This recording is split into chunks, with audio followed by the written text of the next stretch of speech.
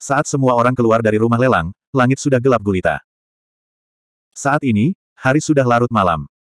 Meski ada cukup banyak orang di jalanan, jumlahnya juga tidak banyak. Kebanyakan masyarakat memilih mudik dan tidak berlama-lama di jalanan.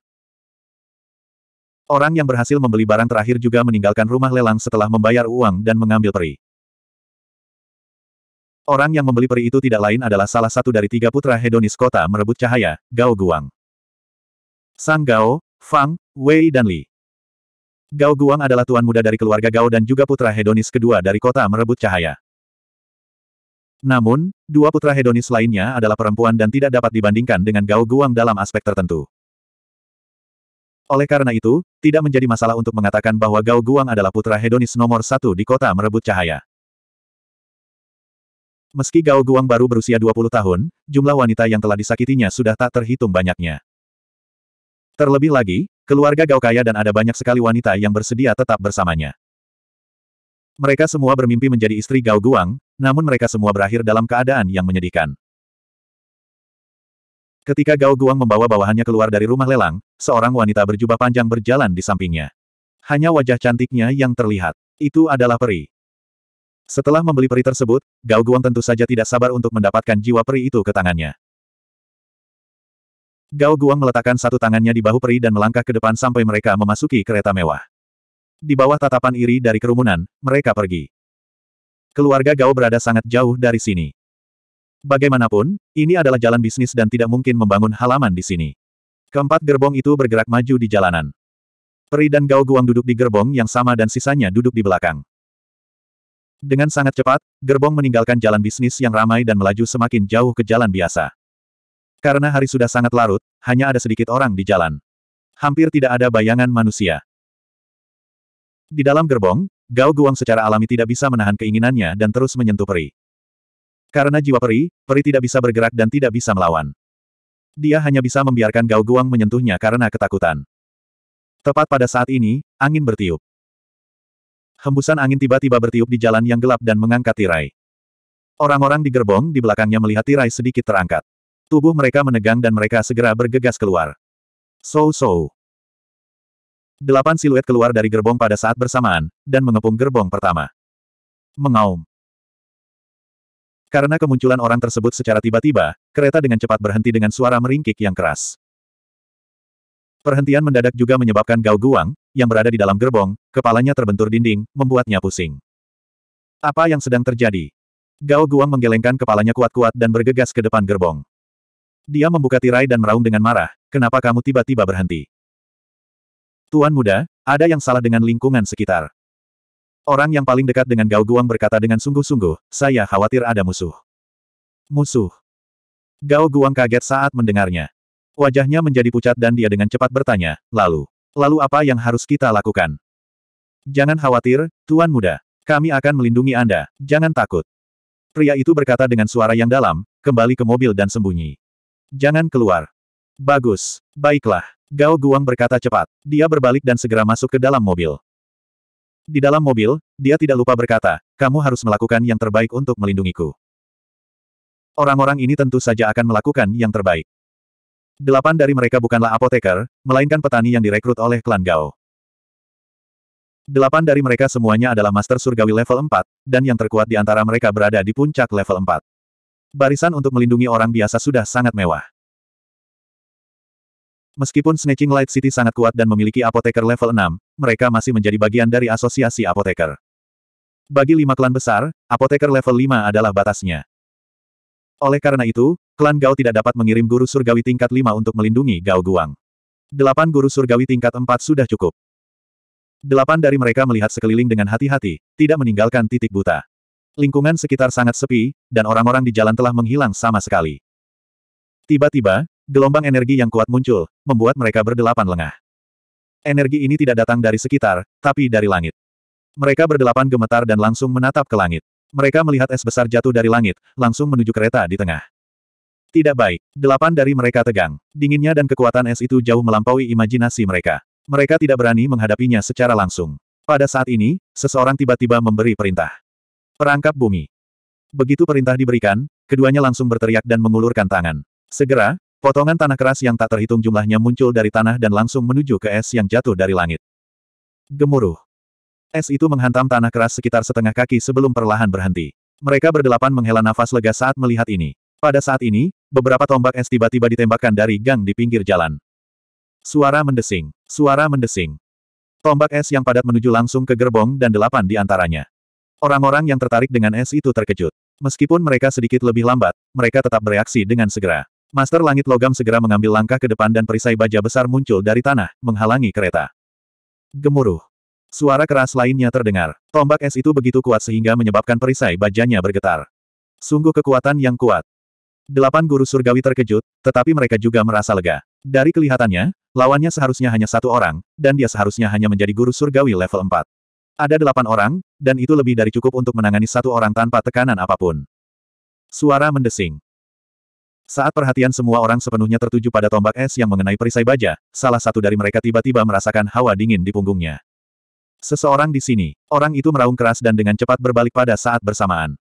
Dia adalah seorang master api surgawi, jadi dia segera mengerahkan seluruh energi di tubuhnya dan mengelilingi dirinya dengan api sebelum melontarkan pukulan ke belakangnya. Namun, meski dia bereaksi, itu sudah terlambat. Puci. Ah. Yang dihantam tinjunya bukanlah daging, melainkan belati sebening kristal. Belati itu langsung menembus pertahanan api yang sangat dia banggakan dan menusuk dalam-dalam ke tinjunya. Tidak hanya itu, rasa dingin yang mengerikan dengan cepat menyebar ke seluruh tubuh orang tersebut. Dalam waktu kurang dari satu napas, semua energi asal surgawi di tubuhnya membeku, termasuk tubuhnya, dan dia jatuh ke tanah. Namun, dia tidak jatuh ke tanah dengan sia-sia, karena dia memberi waktu kepada yang lain untuk bereaksi. Mereka dengan cepat berbalik untuk melihat. Orang berpakaian hitam. Itu adalah orang berpakaian hitam yang dibalut pakaian hitam. Anehnya, Orang berpakaian hitam ini tidak hanya bercadar, bahkan matanya pun tertutup. Apakah orang ini tidak perlu melihat dengan matanya? Memang benar, Luan tidak membutuhkan mata. Setelah memasuki alam Dewa Iblis, dia bisa merasakan segala sesuatu di sekitarnya. Dia tidak ingin mata merahnya terlihat, jadi dia memilih untuk menutupinya secara langsung. Di tengah angin malam, dia memegang belati es dengan kedua tangannya. Setelah lawannya terjatuh, dia langsung bergegas menuju orang berikutnya. Bertarung. Komandan itu berteriak keras. Segera, Tujuh orang yang tersisa menjadi waspada, dan empat dari mereka bergegas menuju Luan. Mereka tidak berani menuntut semua, karena takut ini adalah pengalihan perhatian. Tiga dari mereka tetap tinggal untuk melindungi gerbong, tidak berani mengambil langkah menjauh. Melihat keempat orang itu bergegas ke arahnya, Luan tidak takut sama sekali. Bukannya mundur, dia malah bergegas menuju mereka berempat. Melihat ini, lawan pun sangat gembira. Mereka takut orang ini sedang mempermainkannya. Selama lawan berani menghadapi kekuatan dengan kekuatan, dengan kekuatan mereka, mereka pasti akan terbunuh dalam sekejap. Keempatnya adalah dua tingkat empat tingkat menengah, satu tingkat empat tahap akhir, dan satu tingkat empat puncak. Satu api, satu tanah, satu es, dan satu kayu. Barisan seperti itu sudah cukup untuk membunuh guru surgawi tingkat empat mana pun dengan cepat. Namun, ketika mereka benar-benar bertengkar dengan orang berpakaian hitam ini, mereka menyadari bahwa pemikiran mereka salah. Terlebih lagi, hal itu sangat salah. Semua atribut kayu yang dikendalikan oleh guru surgawi, baik itu tanaman merambat atau cabang, akan langsung dibekukan oleh hawa dingin yang tak terlihat ketika mereka mendekati pria berpakaian hitam itu. Mereka akan kehilangan seluruh vitalitasnya, dan guru surgawi akan kehilangan seluruh kendalinya. Untungnya, meski mereka tidak bisa menjebak orang berpakaian hitam itu, mereka bisa menahan Siong Dong miliknya. Atribut api dan bumi adalah atribut serangan yang kuat, dan pada saat yang sama, guru surgawi es membantu dari jauh. Dalam sekejap, seluruh jalan berubah menjadi reruntuhan. Untung saja keluarga Gao tidak berani sombong. Mereka tidak berani merusak rumah di kedua sisi jalan. Kalau tidak, mereka akan menjadi abu. Setelah sepuluh napas penuh, seratus gerakan, orang berpakaian hitam itu masih belum bisa dikalahkan. Belum lagi mengalahkannya, mereka bahkan tidak bisa melukainya. Nyala api sepertinya tidak berpengaruh padanya, dan seolah-olah dia bisa melihat segalanya tanpa titik buta. Dia dengan sempurna menghindari semua serangan, dan bahkan melakukan serangan balik di celah tersebut, memaksa keluarga Gao mundur. Gemuruh. Suara keras lainnya terdengar. Guru surgawi api dan bumi sebenarnya dipaksa mundur oleh belati Luan. Saat Luan hendak melanjutkan serangan lainnya, paku es yang tak terhitung jumlahnya tiba-tiba mendatanginya. Di saat yang sama, tanaman merambat di langit tumbang, memaksanya mundur.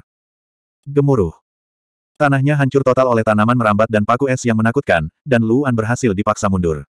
Keempat lawannya memandang Luan dengan rasa takut yang masih ada. Namun, Luan sama sekali tidak senang. Sebaliknya, alisnya dirajut menjadi satu. Dia takut jika pertarungan berlanjut terlalu lama, dia akan memprovokasi seseorang yang lebih kuat.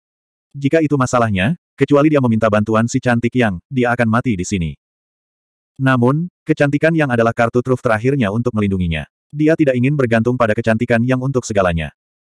Karena itu, Luan perlahan menegakkan tubuhnya, menarik napas ringan, dan melihat ke depan dengan tatapan yang dalam. Dia berkata dengan suara yang dalam, jika kamu pergi sekarang, kamu tidak akan mati. Begitu dia mengatakan itu, mereka bertujuh terkejut. Kemudian, wajah mereka menjadi jelek. Mereka memiliki total tujuh guru surgawi. Mereka tidak menyangka akan dipandang rendah oleh satu orang. Hal ini membuat mereka marah. Apalagi mereka juga menyadari kalau lawannya sepertinya hanya satu orang. Jadi, ketujuh orang itu semuanya bisa menyerang. Ketujuh orang itu saling berpandangan, lalu segera bergerak dan berkumpul. Melihat ini, alis Luan semakin berkerut, dan matanya menjadi semakin dingin. Kamu yang meminta ini, Luan berkata lembut dengan suara yang hanya bisa didengarnya. Setelah itu, lapisan api diam-diam menyebar dari kedua belati esnya. 613. Luan sangat ingin membunuh mereka. Melihat api menyebar di belati, ketujuh guru surgawi semuanya tercengang. Ini adalah pertama kalinya mereka melihat situasi seperti ini dalam hidup mereka. Es dan api adalah dua hal yang ekstrim, tetapi keduanya muncul pada senjata yang sama. Itu sungguh tidak bisa dimengerti. Bukankah api akan mencairkan es? Bukankah es akan memadamkan api? Namun, saat mereka hendak berpikir, Luan bergerak. Luan tidak memberi mereka waktu untuk berpikir. Sosoknya berubah menjadi bayangan gelap di malam hari dan langsung menuju ke tujuh orang. Ketika mereka bertujuh melihat ini, semua guru surgawi yang bertarung jarak dekat segera bergegas ke depan. Pada saat yang sama, Master Kontrol Surgawi melepaskan teknik surgawi mereka. Seketika, sangkar yang tak terhitung jumlahnya muncul di sekitar Luan. Saat lawan menggunakan teknik surgawi, Luan tentu saja tidak akan diam. Saat dia bergegas ke depan, tubuhnya tiba-tiba bersinar terang. Kemudian, sinar cahaya putih yang tak terhitung jumlahnya keluar dari tubuhnya. Adegan ini mengejutkan mereka bertujuh. Jelas sekali bahwa mereka belum pernah melihat Immortal Ki sebelumnya. Mereka tidak tahu benda aneh apa ini. Ketika mereka menyadari bahwa cahaya putih dapat berbalik dan mendekati mereka melalui lapisan kendali, mereka memilih untuk berhati-hati dan memilih untuk membela diri. Gemuruh. Segera, tanah berguncang lagi. Meski momentumnya besar, namun kekuatan sebenarnya tidak setinggi yang dibayangkan. Ketujuh dari mereka sedikit takut sekarang. Mereka menyesalinya dan segera mengangkat kepala untuk melihat pria berpakaian hitam itu. Di mana dia? Ketujuh orang itu tercengang. Ke mana perginya pria berpakaian hitam itu? Melihat pita putih panjang di langit, pria berpakaian hitam itu tidak terlihat. Jelas sekali pria berpakaian hitam itu pasti bersembunyi di balik salah satu pita putih panjang. Namun, ada begitu banyak pita sehingga mereka tidak dapat menemukan jejak pria berpakaian hitam itu sama sekali. Mereka hanya bisa menggunakan teknik surgawi untuk menyerang pita putih panjang di langit, mencoba menemukan pria berpakaian hitam. Di saat yang sama, pita panjang terus menyerang mereka tanpa henti. Pada saat ini, sebuah sabuk panjang langsung menuju ke arah guru langit kayu di belakang. Master langit kayu baru saja mengelak dan mengetahui bahwa kekuatan serangan dari sabuk panjang ini tidak kuat. Kali ini, dia mengurangi kekuatannya dan hanya membuang sebatang pohon anggur. Namun, Bang! Pohon anggur yang panjang menembus pohon anggur yang besar dan berduri. Pada saat yang sama, ia meningkatkan kecepatannya dan bergegas menuju Master Kayu Surgawi dengan kecepatan penuh. Guru Surgawi atribut kayu terkejut, dan enam orang lainnya juga berbalik karena terkejut. Guru Surgawi berelemen kayu ini adalah satu-satunya guru Surgawi yang menyembuhkan. Tidak boleh terjadi apa-apa padanya. Namun, meski mereka bisa melihatnya, mereka tidak bisa mengejarnya. Melihat sabuk itu mengarah ke guru Surgawi tipe kayu, guru Surgawi bukanlah orang bodoh.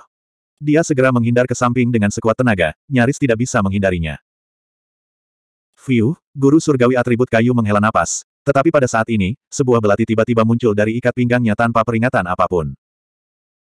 Kecepatan belati itu sangat cepat, begitu cepat sehingga guru surgawi dengan atribut kayu yang santai tidak punya waktu untuk bereaksi.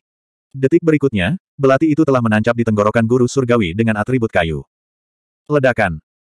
Nyala api menyebar seperti ledakan dan segera membakar lawan hingga menjadi kehampaan. Benar sekali, Luan telah menyembunyikan dirinya di sabuk panjang ini sehingga dia bisa membunuh Master Surgawi Kayu lawannya dalam satu pukulan. Dengan adanya guru surgawi atribut kayu, pertempuran ini akan berlarut-larut. Melihat teman mereka menghilang, enam orang lainnya merasakan hawa dingin merambat di punggung mereka. Namun mereka tidak berani untuk tidak bergerak. Pria berpakaian hitam itu terlalu dekat dengan gerbong. Luan secara alami mengetahui hal ini juga. Dia dengan cepat bergegas menuju gerbong dan akan tiba di depan gerbong dalam sekejap mata. Mereka berenam berada di belakangnya, jadi secara logika, mereka seharusnya tidak bisa mengejarnya. Namun, tepat ketika dia hendak membuka pintu kereta, sesosok tubuh tiba-tiba muncul di sisi Luan dan tiba di hadapannya. Guru Surgawi Atribut Angin. Luan mengerutkan kening. Hal yang paling menyusahkan adalah Guru Surgawi Atribut Angin. Dia tidak menyangka akan ada satu pun. Guru Surgawi Atribut Angin datang ke sisinya dan segera menggunakan ledakan angin pada Luan. Luan pernah merasakan kekuatan ledakan angin sebelumnya, jadi dia tidak berani menghadapinya secara langsung. Namun, begitu dia mengelak, itu berarti operasinya gagal. Yang lain akan segera mengelilinginya, dan konsekuensinya akan sangat berbahaya. Pada saat kritis, Luan membuat keputusan. Guru surgawi atribut angin terlalu dekat dengannya, sehingga memberinya kesempatan. Ia telah mengamati niat lawan terlebih dahulu, sehingga sebelum lawan sempat mengarahkan tangannya ke arahnya, ia menyerang pergelangan tangan lawan dengan udara dingin. Hai, Pergelangan tangan guru surgawi atribut angin terasa sakit dan tiba-tiba berhenti, menyebabkan ledakan angin menyimpang satu kaki. Di saat yang sama, Luan membungkuk dengan seluruh kekuatannya dan menghindari ledakan angin. Gemuruh. Ke arah ledakan angin, ledakan menyebar hingga puluhan kaki di jalan yang panjang. Namun, Luan tidak punya waktu untuk merasa takut. Dia harus melawan guru surgawi atribut angin. Saat dia menyerang pergelangan tangan lawan dengan udara dingin, dia sudah mengangkat belatinya. Jadi saat lawan hendak menggunakan Wind Explosion lagi, belati Luan sudah mencapai pergelangan tangan lawan. Guru surgawi atribut angin tidak bodoh. Angin di sekitarnya adalah persepsinya. Dia secara alami menyadari serangan Luan, tapi dia terkejut dengan kecepatan Luan. Jadi, dia hanya bisa mengarahkan ledakan angin yang baru saja dia persiapkan ke pergelangan tangan Luan, melumpuhkan tangan Luan sepenuhnya. Luan ingin memotong tangan lawannya, dan lawan ingin melumpuhkan tangan Luan. Ini adalah kesempatan terbaik bagi mereka berdua. Mereka hanya bisa melihat apakah belati itu tiba lebih dulu, atau apakah ledakan angin meledak lebih dulu. Kemenangan dan kekalahan hanya tinggal sehelai rambut saja. Tampaknya tidak ada yang bisa memastikannya, tetapi bagi guru surgawi atribut angin dan Luan, keduanya sudah mengetahui hasilnya. Master surgawi atribut angin menang. Belati Luan tidak mampu mengejar kecepatan pergelangan tangan lawan. Itu hanya sepersekian detik kemudian. Guru surgawi atribut angin tersenyum. Namun, di balik tabir, mata merah Luan sangat cerah, tanpa ragu-ragu. Selanjutnya tiba saatnya menentukan pemenang. Ini adalah pertama kalinya Luan menggunakan hasil kultivasinya dalam pertarungan sebenarnya. Ledakan. Dalam sekejap, waktu tiba-tiba melambat. Mata Luan tampak berfluktuasi karena cahaya. Dalam sekejap, segala sesuatu di sekitarnya melambat. Hanya kecepatan Luan yang masih bisa dipertahankan. Belatinya bergerak maju dengan putus asa. Sayangnya, waktu melambat hanya sepersekian detik, seolah hal itu tidak terjadi sama sekali. Fluktuasi di mata Luan segera menghilang. Namun, ini sudah cukup. Guru surgawi atribut angin terkejut saat mengetahui bahwa karena suatu alasan, belati itu tiba-tiba bergerak maju satu inci. Tapi satu inci ini cukup untuk mengubah hasilnya. Di bawah pandangan guru surgawi atribut angin, dia hanya bisa melepaskan ledakan angin terlebih dahulu, ingin menggunakan dampaknya untuk menerbangkan belati lawan. Sayangnya, keputusannya terlalu terburu-buru, dan Luan menggunakan seluruh kekuatannya. Pada saat ledakan angin hendak meledak, belati itu langsung menembus pergelangan tangannya. Ah! Nyala api langsung menelan guru surgawi atribut angin, dan dia benar-benar menghilang dari dunia ini. Di saat yang sama, ledakan angin juga meledak, dan kekuatan ledakannya hilang dalam sekejap. Namun dampaknya tidak kuat, Luan segera bergegas ke depan gerbong, dan kemudian menggunakan penghalang es untuk melindungi gerbong. Gemuruh. Ledakan menyebar di jalan, dan rumah-rumah di sekitarnya akhirnya terkena dampaknya, berubah menjadi bubuk dalam sekejap. Untungnya, orang-orang di dalam sudah melarikan diri dan tidak ada yang terluka. Karena ledakannya tidak kuat, dan lima orang yang tersisa mengkhawatirkan keselamatan Gao Guang, mereka langsung bergegas keluar dari ledakan angin sebelum menghilang. Luan secara alami merasakannya, jadi dia tidak berani tinggal lebih lama lagi. Setelah menghancurkan kereta dengan telapak tangan, dia melihat Gao Guang dan gadis elf di dalam. Dia melihat pakaian gadis elf itu acak-acakan, dan sebagian besar tubuhnya terlihat. Namun untungnya, bagian penting dari pakaiannya masih utuh. Mata Luan terfokus, dan dia langsung datang ke depan gadis elf dan meraihnya. Di saat yang sama, Luan bahkan tidak menoleh. Dia langsung mengayunkan tangannya, dan dalam sekejap, lonjakan es langsung menembus alis Gao Guang. Bang! Saat Luan hendak melarikan diri, lonjakan es itu memantul, menyebabkan tubuhnya gemetar. Dia terkejut saat menemukan ada cahaya kemasan menyelimuti Gao Guang, melindunginya dari bahaya. Segera, Luan memikirkan lonceng emas raksasa yang diberikan si cantik yang kepadanya sebelumnya. Kemungkinan besar itu adalah sesuatu yang serupa. Sekarang setelah dia menyelamatkan orang itu, Luan tidak bisa tinggal lebih lama lagi. Dia melambaikan tangannya, dan dalam sekejap, semua deep ice di sekitar mereka perlahan-lahan meleleh dan menghilang ke udara. Pada saat yang sama, dia mengambil jiwa elf di kereta, segera bangkit, dan segera melarikan diri. Ketika kelima orang itu bergegas keluar dari jangkauan ledakan angin, mereka akhirnya menghela nafas lega ketika melihat Gao Guang masih terbaring di dalam penghalang pertahanan emas. Namun, ekspresi kelima orang itu berubah menjadi jelek lagi. Melihat reruntuhan di sekitar mereka dan dua rekannya yang tewas, serta gadis elf yang hilang, hati mereka bergetar dan merasa tidak enak. Sepertinya mereka sedang dalam masalah. 613. Di halaman. Luan membawa gadis elf itu ke dalam rumah, diikuti oleh si cantik yang. Selama pertempuran di jalan, si cantik yang telah menyaksikan pertempuran di dekatnya sehingga dia bisa melakukan intervensi tepat waktu jika ada bahaya. Faktanya, di saat-saat terakhir, Yang Meiren sudah bersiap untuk bergerak, namun perintah Luan diberikan kepadanya untuk tidak bergerak. Dia tidak bisa melanggar perintah Luan, jadi dia hanya bisa menonton dengan cemas. Jadi, dia menyaksikan adegan terakhir dengan matanya sendiri. Dia kuat, dan pengetahuannya jauh lebih tinggi daripada guru surgawi lainnya pada tingkat yang sama. Dia dapat melihat bahwa pemandangan aneh itu tidak sesederhana seni surgawi, tetapi perubahan ruang atau waktu. Namun, ruang dan waktu adalah dua hal yang paling sulit untuk dikembangkan di dunia. Semua guru surgawi di dunia pada dasarnya mengembangkan delapan atribut dasar, tetapi ruang dan waktu bukan milik salah satu dari mereka. Bahkan Yang Meiren tidak cukup kuat untuk melakukan semua hal itu. Menurut pengetahuan si cantik Yang, hanya ada sedikit orang di dunia yang bisa melakukan ini. Namun, baru saja, Luan, yang hanya seorang guru surgawi tingkat tiga, melakukannya. Meski hanya sesaat, kejutan yang diberikan pada kecantikan yang sangat besar. Sejak dia kembali, tatapannya tidak pernah lepas dari Luan. Faktanya, Luan tidak terlalu percaya pada keputusan akhir. Dia tidak meragukan teknik King Yuan, tapi dia ragu apakah dia bisa menggunakannya. Ini adalah pertama kalinya dia mencoba menggunakan teknik King Yuan dalam pertarungan sebenarnya setelah mengolahnya selama tiga bulan. Idenya sederhana. Bahkan jika dia terkena hembusan angin, dia hanya akan terluka parah dan tidak akan mati. Paling-paling, dia akan membiarkan si cantik yang melakukannya. Untungnya, dia berhasil. Sekarang, Luan melihat ke arah gadis elf yang dia tempatkan di tempat tidur. Rambut biru panjangnya tergerai di sisi tempat tidur. Wajah gadis itu penuh ketakutan saat dia memandang Luan dengan ketakutan. Karena pakaian gadis itu acak-acakan, Luan segera mengeluarkan selimut dan menutupinya dengan selimut itu. Pada saat yang sama, dia mengeluarkan satu set pakaian dan meletakkannya di sampingnya. Namun, gadis sederhana itu masih sangat takut padanya, jadi dia tiba-tiba memikirkan sesuatu. Jiwa elf. Jiwa peri masih ada di tangannya. Dia segera mengeluarkannya. Benda ini terlihat seperti titik cahaya biru, tapi bisa mengendalikan nasib seorang peri. Di sini, Luan menyerahkan jiwa peri kepada gadis itu. Ketika gadis itu melihat jiwanya, dia tercengang. Dia memandang Luan dengan ketakutan dan dengan hati-hati mengambilnya. Kemudian, dia mengangkat tangan rampingnya dan meletakkan roh peri di dadanya. Roh peri segera menyatu ke dalam dadanya dan menghilang. Saat dia menghilang, tubuh gadis itu memancarkan cahaya biru. Itu mempesona dan lembut, seperti keajaiban. Cahayanya dengan cepat menghilang, dan warna kulit gadis itu akhirnya pulih sedikit. Jangan khawatir, aku tidak akan menyakitimu. Luan memandangi gadis elf itu dan berkata dengan lembut, aku ingin menanyakan sesuatu padamu. Jika kamu sedang tidak enak badan, aku bisa datang dan menanyakanmu besok. Gadis itu memandang Luan. Mendengar nada tenang Luan, ketakutan di matanya perlahan menghilang. Akhirnya, setelah beberapa saat, dia membuka mulutnya. Aku, kata gadis itu.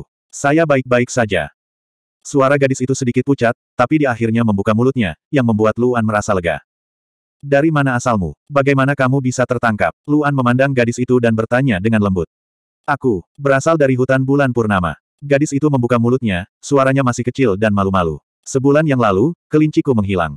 Saya ingin menemukannya, jadi saya meninggalkan hutan. Mata gadis itu memerah dan air mata memenuhi matanya. Dia tidak pernah menyangka akan menemui hal seperti itu karena dia meninggalkan hutan. Selama sebulan, dia dikurung di dalam sangkar dan diawasi setiap hari. Orang-orang itu bahkan mengajarinya cara melayani orang, baik dalam kehidupan sehari-hari maupun di tempat tidur. Dia tidak mau belajar, tapi dia akan disiksa tanpa ampun jika dia menolak. Bagi para elf, mempelajari cara bertarung adalah suatu hal yang penting. Mereka tahu sejak kecil bahwa manusia adalah musuh alami mereka, tapi gadis itu berbeda. Dia dilahirkan tidak dapat mempelajari keterampilan bertarung apa pun. Meskipun keluarganya berusaha sekuat tenaga untuk membuatnya belajar, dan dia bekerja keras, dia tidak cocok. Jadi, dia tidak punya kekuatan untuk melawan dan hanya bisa dibantai. Belakangan, dia benar-benar ketakutan dan hanya bisa dengan kaku menerima segalanya, melakukan hal-hal yang tidak dapat dia bayangkan. Tapi untungnya, orang-orang itu tidak menodai kepolosannya. Tapi dia tahu ini hanya untuk membuat dirinya pantas mendapatkan harga yang bagus. Gadis itu terus menangis, seolah ingin menangisi segala keluh kesah yang dideritanya selama sebulan terakhir. Luan berdiri di samping tempat tidur, diam-diam memperhatikan gadis itu menangis, tanpa mengganggunya. Akhirnya setelah menangis lama, gadis itu perlahan berhenti menangis. Setelah menangis, suasana hati gadis itu jelas pulih. Luan juga menarik napas ringan dan bertanya, siapa namamu? Xiao Rou. Gadis itu mendongak, matanya benar-benar merah karena menangis. Xiao Rou, Luan memandang gadis itu dan berkata, apakah kamu ingat di mana hutan bulan purnama berada? Atau bisakah kamu kembali sendiri? Aku, Xiao Rou mendengar ini, matanya memerah lagi. Dia menggelengkan kepalanya dan berkata, setelah mereka menangkapku, mereka mengurungku, dan selama itu, mereka sedang dalam perjalanan. Saya tidak tahu bagaimana mereka pergi, dan saya tidak tahu bagaimana cara kembali. Ini, Luan mengerutkan kening. Jika itu masalahnya, itu akan merepotkan. Katanya, kalau perjalanannya kurang dari sebulan, seharusnya kamu bisa menemukan hutan bulan purnama di kawasan ini, kan? Belum tentu. Pada saat ini, kecantikan Yang, yang diam, angkat bicara. Dia mengerutkan kening dan berkata, kerajaan Dewa Pengobatan tidak seperti tempat lain. Karena perdagangan, kota ini memiliki susunan teleportasi publik. Orang-orang itu mungkin menggunakan susunan teleportasi untuk bergerak, jadi menanyakan tentang hutan bulan purnama tidak akan membuahkan hasil apa pun. Terlebih lagi, dalam kondisinya, meskipun dia mengetahui arah hutan, dia tidak akan bisa kembali. Si cantik yang memandang Xiao Rou dan berkata, dia tidak memiliki kemampuan untuk melindungi dirinya sendiri, dan rambutnya akan memperlihatkan dirinya sepenuhnya. Lalu apa yang harus kita lakukan? Luan terkejut, dan dia melihat ke arah kecantikan Yang dan bertanya. Ada tiga hasil. Si cantik yang memandang Luan dan berkata, yang pertama adalah membuangnya. Hati Xiao Rou menegang saat mendengar ini. Dia memandang Luan dengan cemas dan berkata dengan ketakutan, jangan. Luan mengerutkan kening saat mendengar ini. Dia memandang gadis peri itu dan bertanya pada si cantik yang, apa lagi? Yang kedua adalah membiarkan dia tinggal di sini dan membawanya bersama kita, kata si cantik yang. Bawa dia bersama kami. Kerutan di dahi Luan semakin dalam. Dia datang ke sini untuk berkultivasi, bukan untuk berlibur. Tidak masalah meninggalkan Xiao Rou di sini untuk sementara, tapi pada akhirnya dia harus pergi. Dia tidak bisa membawa Xiao Rou bersamanya, kan? Dia dapat membawa si cantik yang bersamanya karena dia memiliki kemampuan untuk melindungi dirinya sendiri dan tidak membutuhkannya untuk merawatnya. Namun, Luan tidak bisa membawa Xiao Rou bersamanya. Apa pilihan ketiga? Luan bertanya lagi. Kau dan aku akan mengirimnya kembali ke hutan bulan purnama, kata si cantik yang dengan tenang. Hanya ada tiga pilihan, tidak ada jalan lain. Kerutan di dahi Luan semakin dalam. Jika dia mengirim Xiao Rou kembali, dia tidak tahu berapa lama waktu yang dibutuhkan dan betapa merepotkannya hal itu. Dia baru saja tiba di Snatching Light City dan tidak mendapatkan apa yang diinginkannya di Medicine God Nation. Dia tidak mau pergi sekarang. Apakah tidak ada elf lain di hutan? Luan mengerutkan kening dan bertanya pada Xiao Rou, apakah kamu tahu ada hutan lain? Aku tidak tahu, Xiao Rou berkata dengan cemas, aku selalu tinggal di hutan bulan purnama. Aku belum pernah ke tempat lain dan belum pernah mendengar tentang tempat lain. Bagaimana denganmu? Luan memandang si cantik yang dan bertanya, tahukah kamu? Saya tidak tahu, Si cantik yang menggelengkan kepalanya dan berkata, bukan hanya saya. Tidak ada orang lain yang tahu karena begitu manusia mengetahui keberadaan elf, mereka pasti akan pergi dan menangkapnya. Kerutan di dahi Luan semakin dalam. Dia memandang Xiao Rou. Tidak peduli apa, mustahil baginya untuk membuang gadis peri ini. Namun, dia tidak bisa memilih di antara dua pilihan tersebut. Dia hanya bisa menarik napas dalam-dalam. Biarkan dia tinggal di sini sekarang. Luan berdiri dan mengerutkan kening. Kita akan membicarakan masa depan. Siapa tahu kita bisa bertemu elf lain. Mendengar kata-kata Luan, si cantik yang tentu saja tidak keberatan dan berkata, Ya, Tuan. Aku akan kembali dan memulihkan diri, Luan berbalik dan berkata pada si cantik yang, aku akan menyerahkannya padamu. 614. Larut malam. Halaman keluarga Gao. Ketika Gaoli melihat lima orang di depannya berlumuran tanah dan seorang yang terluka parah tergeletak di tanah, wajahnya begitu pucat hingga seperti akan meledak. Di depan keenam orang tersebut adalah putranya yang sedang digendong di kursi. Melihat putranya yang tampak ketakutan konyol, Gaoli sangat marah hingga ingin membunuh seseorang. Apa yang sedang terjadi? Gaoli menahan amarahnya, menoleh untuk melihat kelima tuan, dan mengertakkan gigi. Mendengar suara Gaoli yang hendak meledak, mereka berlima gemetar. Gaoli bukanlah orang biasa, tapi seorang master level 5 sejati. Salah satu dari mereka buru-buru menjelaskan semua yang terjadi dari awal hingga akhir. Peri, pria berbaju hitam. Setelah mendengarkan, Gaoli mengertakkan gigi dan berkata, siapa yang berani menyerang keluarga Gao kita? Orang lain yang hadir tidak berani berbicara dan hanya bisa menundukkan kepala menunggu perintah Gaoli. Ekspresi wajah Gaoli serius. Setelah berpikir sejenak, dia mengertakkan gigi dan berkata, masalah ini harus dibayar dengan darah, kalau tidak, prestis apa yang dimiliki keluarga Gao kita. Temukan keluarga Li dan dapatkan daftar semua tamu di rumah lelang malam ini. Saya ingin memeriksanya satu per satu. Di belakang Gao Li, kepala pelayan keluarga Gao mengerutkan kening dan berkata, tetapi daftar ini dirahasiakan kepada para tamu. Keluarga Li adalah pesaing kita, jadi mereka tidak bisa memberi kita daftarnya. Kalau tidak, mereka tidak akan bisa bertahan hidup. Jadi kita harus memikirkan caranya. Wajah Gao Li muram. Apa pun yang terjadi, meskipun kita harus mencurinya, kita harus mencuri daftarnya. Atau kita bisa bernegosiasi dengan keluarga Li. Kami juga bisa menyerahkan daftarnya. Dengan cara ini, kedua belah pihak akan memiliki sesuatu tentang satu sama lain dan mereka tidak akan curiga. Mendengar ini, kepala pelayan menghirup udara dingin dan ekspresinya berubah drastis. Dia tidak pernah berpikir bahwa sang patriark akan sangat marah sehingga dia akan membuat keputusan seperti itu. Dia hanya bisa dengan cepat berkata, ya, saya akan segera melakukannya. Melihat kepala pelayan pergi dengan cepat, ekspresi Gao Li tidak melembut. Dia memandang putranya, yang sudah ketakutan. Dadanya terbakar amarah. Ayah, Gao Guang memandang Gao Li, suaranya sangat lemah hingga hampir tidak terdengar. Dia berkata dengan susah payah, kamu harus membalaskan dendamku. Nak, jangan khawatir. Gao Li memandang putranya dan mengertakkan gigi. Ayah pasti akan menangkap orang yang menyakitimu dan membiarkanmu menghadapinya. Dan periku, Gao Guang berkata dengan lemah, tapi dia masih tidak bisa melupakan apa yang dibelinya. Peri. Gao Li menatap sejenak sebelum menyadari hal ini. Dia segera bangkit dan berkata, peri mudah ditemukan, berikan perintah untuk mencari peri. Tanda pisah tanda pisah tanda pisah. Tanda pisah tanda pisah tanda pisah. Hari berikutnya. Berita tentang pertempuran tadi malam di jalanan dengan cepat menyebar ke seluruh Snatching Light City. Lagi pula, keributan tadi malam terlalu hebat. Tidak ada cara untuk menyembunyikannya. Persekutuan apoteker juga disiagakan. Pagi-pagi sekali, seseorang pergi ke keluarga Gao untuk menanyakan situasinya. Tentu saja, Persatuan Apoteker berasumsi bahwa klan Gao adalah korbannya. Namun, tidak ada yang menyangka keluarga Gao akan melakukan pencurian seperti itu. Semua orang menebak siapa yang berani. Jika keluarga Gao mengetahuinya, dia pasti akan dibunuh. Klan Gao memiliki harga diri mereka sendiri dan tidak meminta bantuan dari Persatuan Apoteker. Mereka ingin menyelesaikannya sendiri. Sepanjang pagi, semua orang di kota mendiskusikan siapa yang ingin menyakiti keluarga Gao. Tidak ada seorang pun yang cukup bodoh untuk berpikir bahwa mereka benar-benar merampok peri. Mereka pasti menggunakan peri itu sebagai kedok untuk membunuh Gao Guang. Bagaimanapun juga, Gao Guang adalah satu-satunya pewaris keluarga Gao. Tidak heran kalau Gao Li akan sangat marah. Untuk sesaat, Snatching Light City menjadi gempar. Situasi menjadi sangat tidak stabil. Demi menemukan pelakunya, klan Gao bahkan menawarkan hadiah satu juta koin emas. Siapa pun yang dapat menemukan peri itu akan menerima hadiahnya. Kita harus tahu bahwa karakteristik elf itu sangat jelas. Hal ini menyebabkan semua orang di kota ikut serta dalam pencarian. Jika mereka dapat menemukan pelakunya, hadiahnya akan berlipat ganda. Semua orang di kota ikut serta dalam pencarian. Hanya empat klan besar lainnya yang tetap diam. Bagaimanapun, klan Gao tiba-tiba menghadapi situasi seperti itu. Tidak peduli siapa orangnya, itu adalah hal yang baik bagi mereka. Markas Besar Persekutuan Klan Li Pengurus rumah tangga Gao Li, Zhou Mingxi, tiba. Tidak peduli apa kebenarannya, lima klan besar harus bertindak sopan dan menerimanya sebagai VIP. Ketika Zhou Mingxi menyatakan tujuannya, Pengurus rumah tangga klan Li, Li Su, tampak sangat gelisah. Saya rasa saya tidak perlu menjelaskan pentingnya daftar itu. Li Su menggelengkan kepalanya. Tidak mungkin bagiku untuk menyerahkan daftarnya. Tidak ada yang tidak bisa didiskusikan.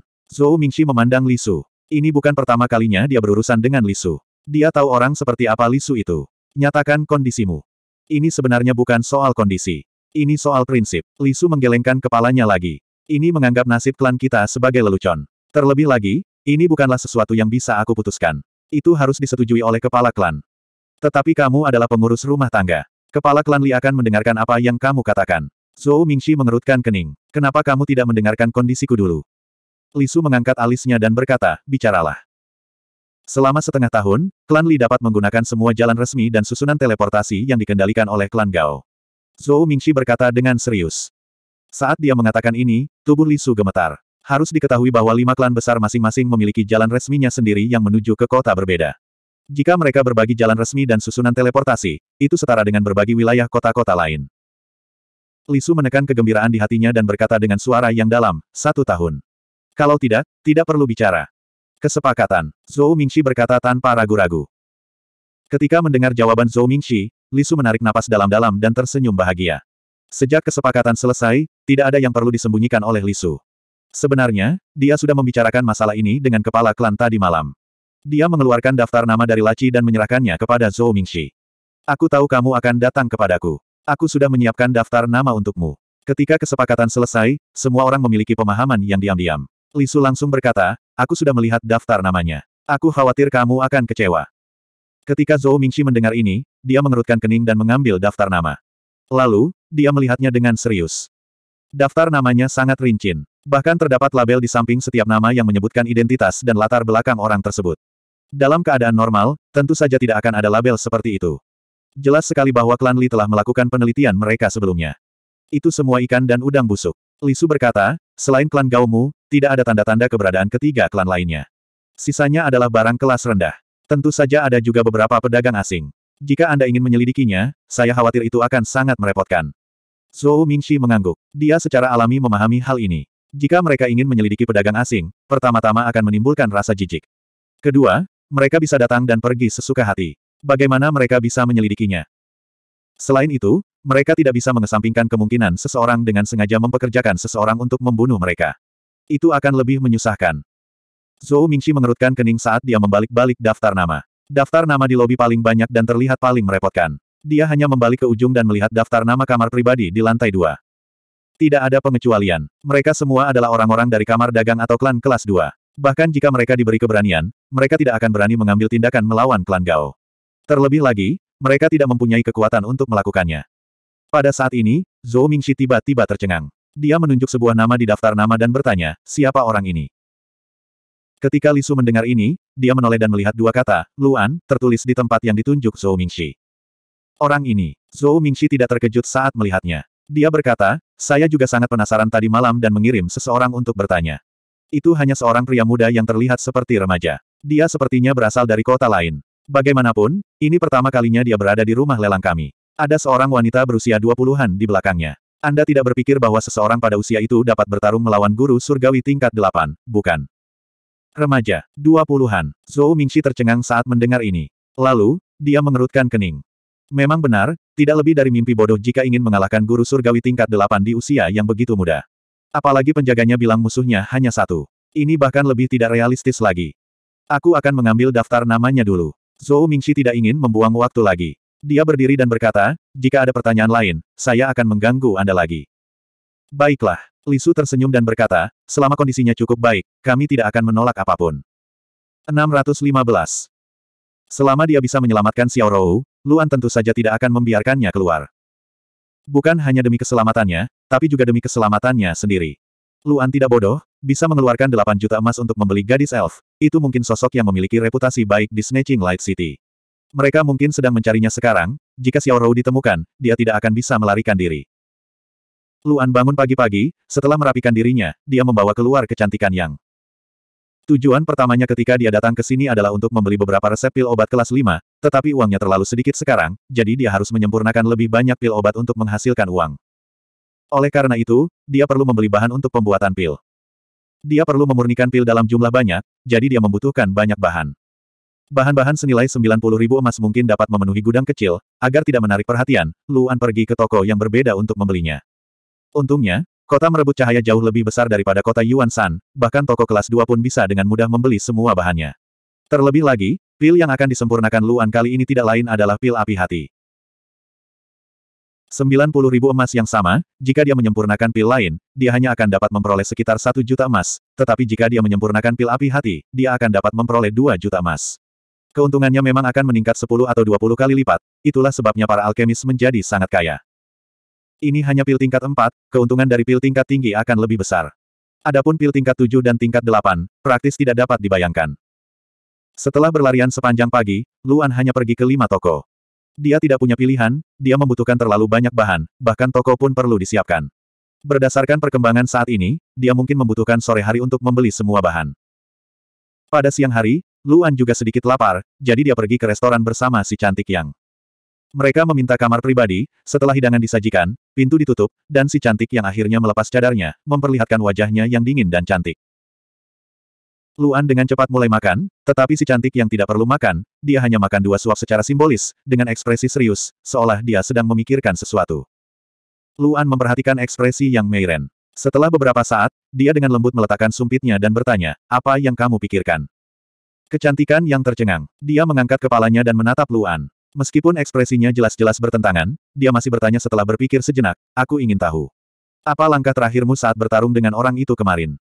Luan terkejut saat mendengar ini, tapi dia segera bereaksi. Jelas sekali bahwa tindakannya tidak bisa lepas dari pandangan si cantik yang. Wajar jika si cantik yang memperhatikan sesuatu. Luan tidak menyembunyikan apa pun dari si cantik yang, jadi dia langsung menjawab, itu adalah seni surga. Guruku mengajarkannya kepadaku. Itu memang seni surgawi. Si cantik yang merasa sangat senang, namun dia bertanya dengan bingung, bukankah ini teknik rahasia? Tidak, itu keterampilan surga. Luan tahu apa yang ingin ditanyakan oleh si cantik yang dan berkata, itu tidak dibatasi oleh roda takdir. Mendengar ini, kecantikan yang sangat gembira. Meskipun dia sedikit berkonflik, dia tetap bertanya, kalau begitu, bisakah kamu mengajariku? Luan tercengang. Dia mengangkat kepalanya dan memandang kecantikan yang dengan serius. Jika itu orang lain, dia bahkan tidak akan mengatakannya. Tetapi jika itu adalah si cantik yang, hal itu memang mungkin terjadi.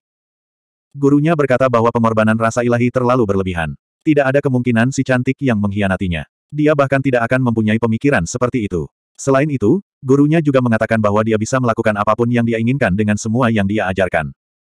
Kecantikan yang benar-benar pembangkit tenaga listrik. Pemahamannya secara alami jauh dari apa yang bisa dia bandingkan. Jika dia mengajarinya keterampilan King Yuan, dia mungkin bisa mempelajarinya lebih cepat. Kecantikan yang menjadi lebih kuat juga merupakan salah satu kekuatannya. Namun, si cantik yang tidak tahu apa yang dipikirkan Luan. Dia memandang Luan dan merasa sedikit berkonflik. Dia berkata dengan nada meminta maaf, saya bertindak terlalu jauh. Mohon maafkan saya, guru. Mata Luan menyipit. Setelah menggelengkan kepalanya, dia memandang si cantik yang dengan serius dan berkata, aku bisa mengajarimu. Si cantik yang awalnya tertegun, lalu dia sangat gembira. Dia tahu betapa kuatnya seni surga ini. Dia segera bangkit dan hendak berlutut, tapi dia dihentikan oleh Luan. Duduk. Luan sedikit mengernyit dan berkata. Iya, si cantik yang tidak bisa membangkang dan duduk dengan patuh. Mata Luan sedikit bermartabat. Dia menatap si cantik yang dan berkata, ini adalah seni surga yang ditinggalkan oleh tuanku untukku. Aku bahkan tidak mempelajari permukaannya. Setelah saya berikan kepada Anda, jangan gunakan kecuali itu adalah pilihan terakhir. Apakah kamu mengerti? Iya, si cantik yang mengangguk dan berkata dengan serius. Adapun isi dari skill King Yuan, aku akan memberitahumu setelah membeli bahannya.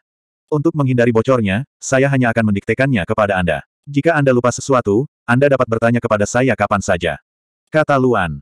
Oke, si cantik yang mengangguk lagi. Wajahnya dipenuhi dengan kegembiraan yang tak bisa disembunyikan. Dengan kepribadiannya yang dingin, selain mengungkapkan ketundukannya pada Luan, dia jarang menunjukkan tanda-tanda kegembiraan. Namun kali ini, kegembiraannya datang dari lubuk hatinya.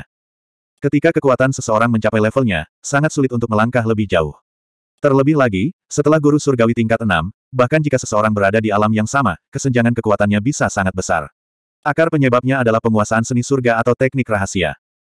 Begitu dia mempelajari seni surga ini, dia tidak akan terkalahkan di antara mereka yang berada di alam yang sama. Setelah mendapatkan jawabannya, kecantikan yang dengan cepat menjadi tenang. Namun, hatinya masih dipenuhi kegembiraan. Setelah beberapa saat, dia mengangkat kepalanya lagi dan menatap Luan. Tuan, apakah kamu akan menerobos juga? Si cantik yang memandang Luan dan bertanya. Dia menyadari bahwa akhir-akhir ini, dia semakin sering memanggil Luan dengan sebutan, Tuan. Dia mulai terbiasa dengan hal itu.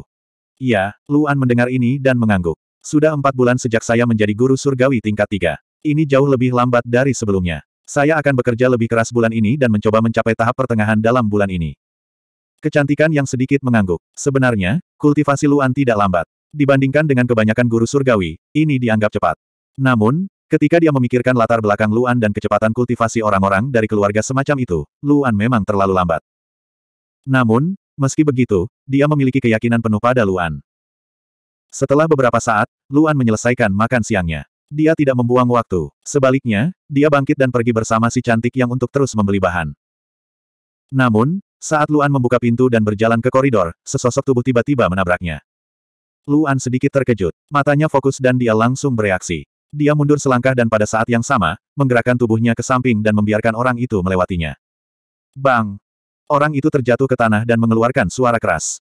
Lalu, Luan langsung mengerutkan kening. Ini karena dia melihat orang yang terjatuh ke tanah adalah seorang wanita. Dilihat dari pakaiannya, terlihat jelas bahwa dia adalah staf layanan di kedai ini. Dia berusia 20-an dan dianggap cantik di kalangan orang biasa. Wanita itu memasang ekspresi panik di wajahnya. Di saat yang sama, Luan menoleh dan melihat ke sisi lain. Di sisi lain, dia melihat seorang gadis muda berdiri di koridor. Penampilannya tidak buruk dan sebanding dengan wanita di tanah. Namun, dia lebih muda dan memiliki aura lembut yang tidak takut pada apa pun. Ada sekelompok pria di belakangnya dan jelas sekali bahwa mereka adalah bawahannya. Gadis itu meletakkan satu tangannya di pinggangnya dan berjalan di depan wanita itu. Melihat wanita di tanah, wajahnya penuh penghinaan. Dia berkata dengan keras, merupakan kehormatan bagi Anda bahwa bawahan saya menyukai Anda. Anda tetap tidak ingin wajah dan tindakan dicadangkan di depan saya. Apakah Anda percaya bahwa dengan satu kata dari saya, Anda tidak bisa lagi tinggal di Snatching Light City? Nada suara gadis itu sangat arogan dan menarik perhatian banyak orang di koridor. Namun, orang-orang ini sepertinya telah mengenali siapa gadis itu dan tidak ada yang berani bersuara. Karena gadis itu memarahi wanita dari atas, dia berdiri di depan kamar pribadi Luan. Dia berdiri di depan Luan. Aku, aku punya suami, wanita itu jelas ketakutan setengah mati. Suaranya bergetar dan dia tidak berani bangkit dari tanah. Dia memohon, aku tidak bisa mengecewakannya. Masih berakting di hadapanku. Aku akan memberimu sepuluh emas. Cukup bagimu untuk bekerja di sini selama tiga bulan. Kamu masih ingin berakting. Apakah menurutmu uangnya tidak cukup? Ketika gadis itu mendengar ini, dia tidak bersimpati. Sebaliknya, dia menjadi semakin marah. Dia mengomel dengan keras, karena kamu tidak mau menatapku, jangan pikirkan itu. Hari ini, setuju atau tidak, Anda harus setuju. Kemudian, gadis itu berbalik dan berteriak kepada sekelompok pria di belakangnya, ayo, bawa dia pergi.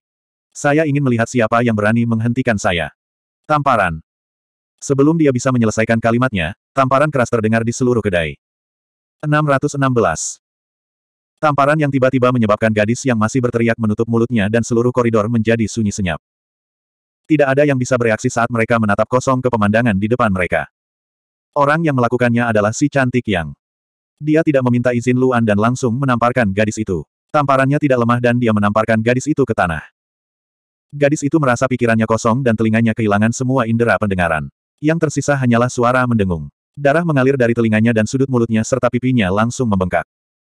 Semua orang yang hadir tertegun selama dua tarikan napas penuh sebelum para pelayan di belakang gadis itu bereaksi. Mereka buru-buru berlari ke arah gadis itu dan menariknya dari tanah.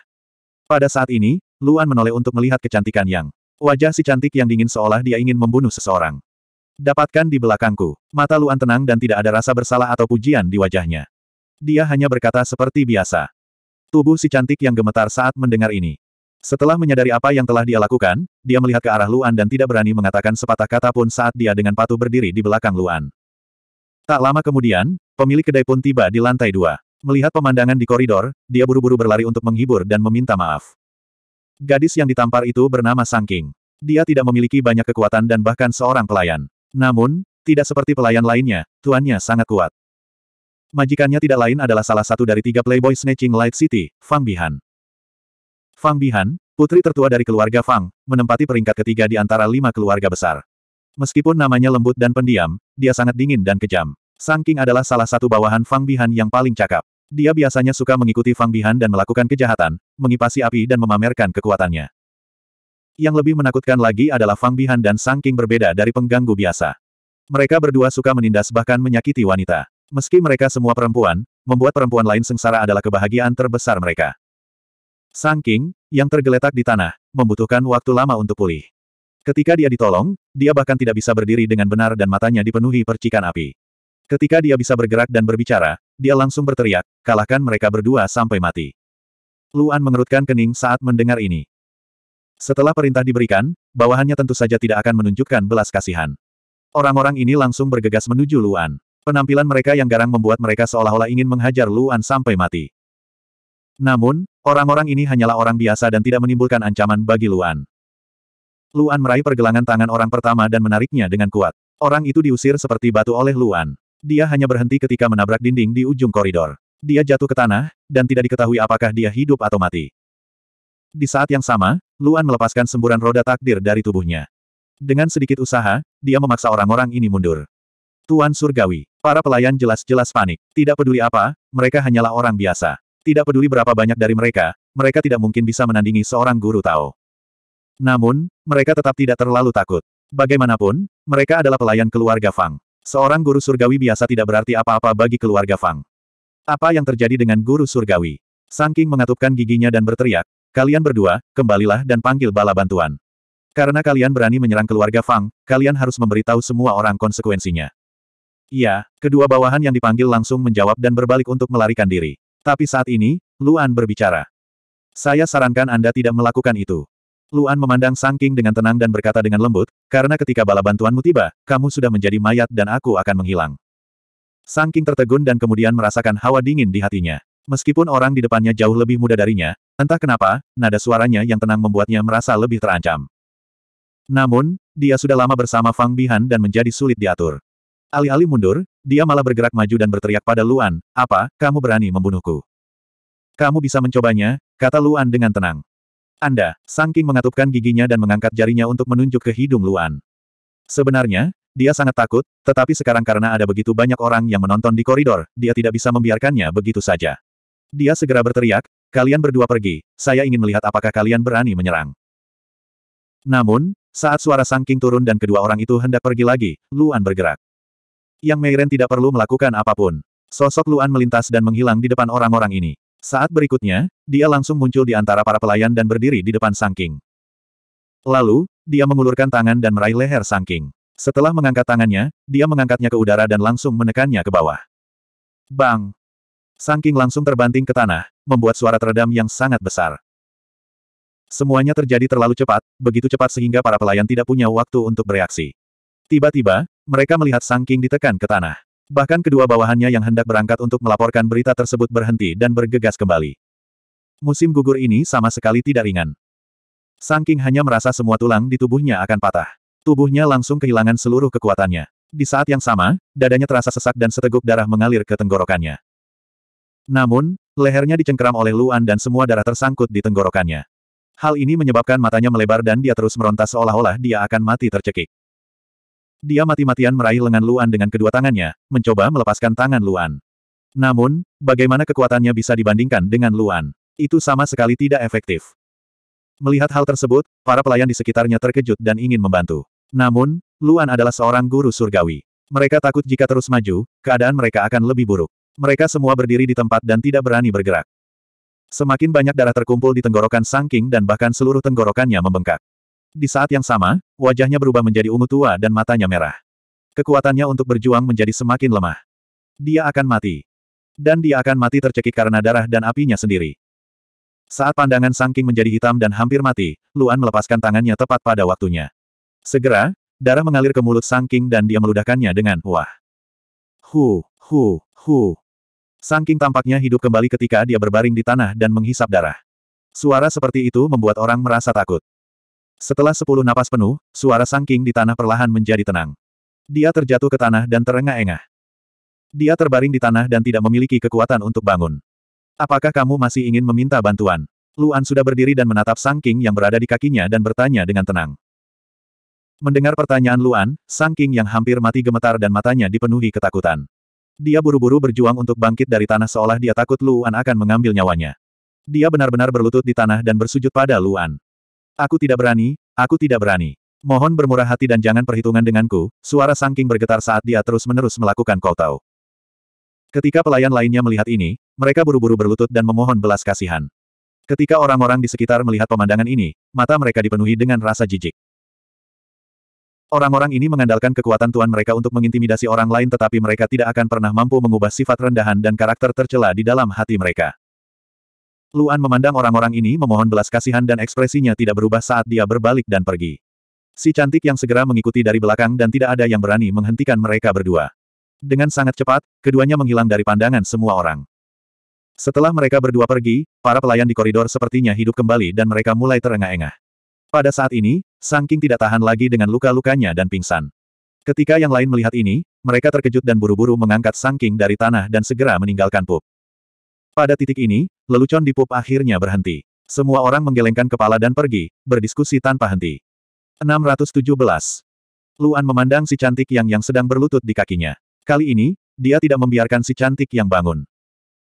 Dia telah mengenal si cantik yang selama hampir satu tahun, dan si cantik yang telah berada di sisinya selama lebih dari setengah tahun. Dia sangat mengenal kecantikan yang. Jika ada hal-hal yang tidak serius, dia akan tetap melakukan kesalahan. Luan memandang si cantik yang dan bertanya dengan suara yang dalam, apakah kamu tahu kesalahan apa yang kamu lakukan? Si cantik yang mengangkat kepalanya untuk melihat ke arah Luan dan berkata, aku seharusnya tidak bergerak. Tatapan Luan tidak melembut sama sekali saat mendengar itu. Dia bertanya lagi, lalu. Aku seharusnya tidak bertindak tanpa izin tuanku. Si cantik yang berpikir sejenak dan berkata dengan serius, saya tidak akan pernah melakukannya lagi. Saya akan bertanya kepada tuan saya sebelum membuat keputusan apa pun. Si cantik yang memikirkan kata-kata ini dalam perjalanan pulang. Dia tahu bahwa Luan sedang marah. Dia telah merenungkan dirinya sendiri dan memikirkan bagaimana cara menyenangkan Luan. Faktanya, dia bertindak berdasarkan naluri dan tidak mengendalikan dirinya sama sekali.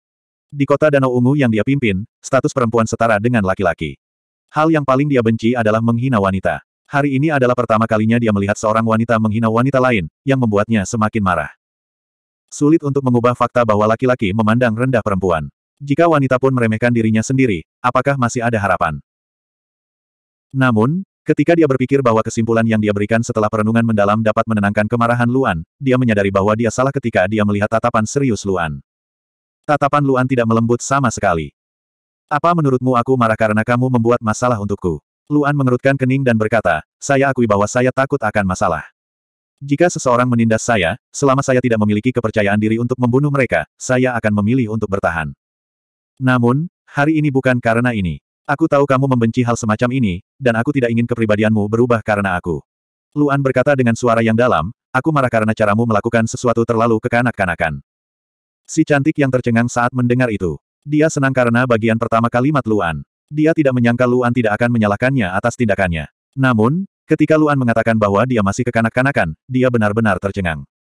Aku kekanak-kanakan. Bagaimana saya bisa menjadi kekanak-kanakan? Melihat ekspresi terkejut si cantik yang, Luan tahu bahwa dia tidak menyadari apa masalahnya. Luan menarik napas dalam-dalam dan berkata dengan serius, kamu boleh mengambil tindakan, tapi kamu harus memikirkan konsekuensinya. Anda melampiaskan amarah Anda, tetapi apa yang terjadi pada akhirnya? Pada akhirnya, kamulah yang pergi. Pihak lain pasti tidak akan membiarkan masalah ini berhenti. Tetapi jika mereka tidak dapat menemukan Anda, menurut Anda kepada siapa mereka akan melampiaskan kemarahannya? Tubuh yang Meiren bergetar saat mendengar ini. Dia sepenuhnya mengerti. Benar, dia akan melampiaskannya pada wanita itu. Luan berkata dengan suara yang dalam, kamu dan aku boleh pergi, tapi wanita itu tidak bisa.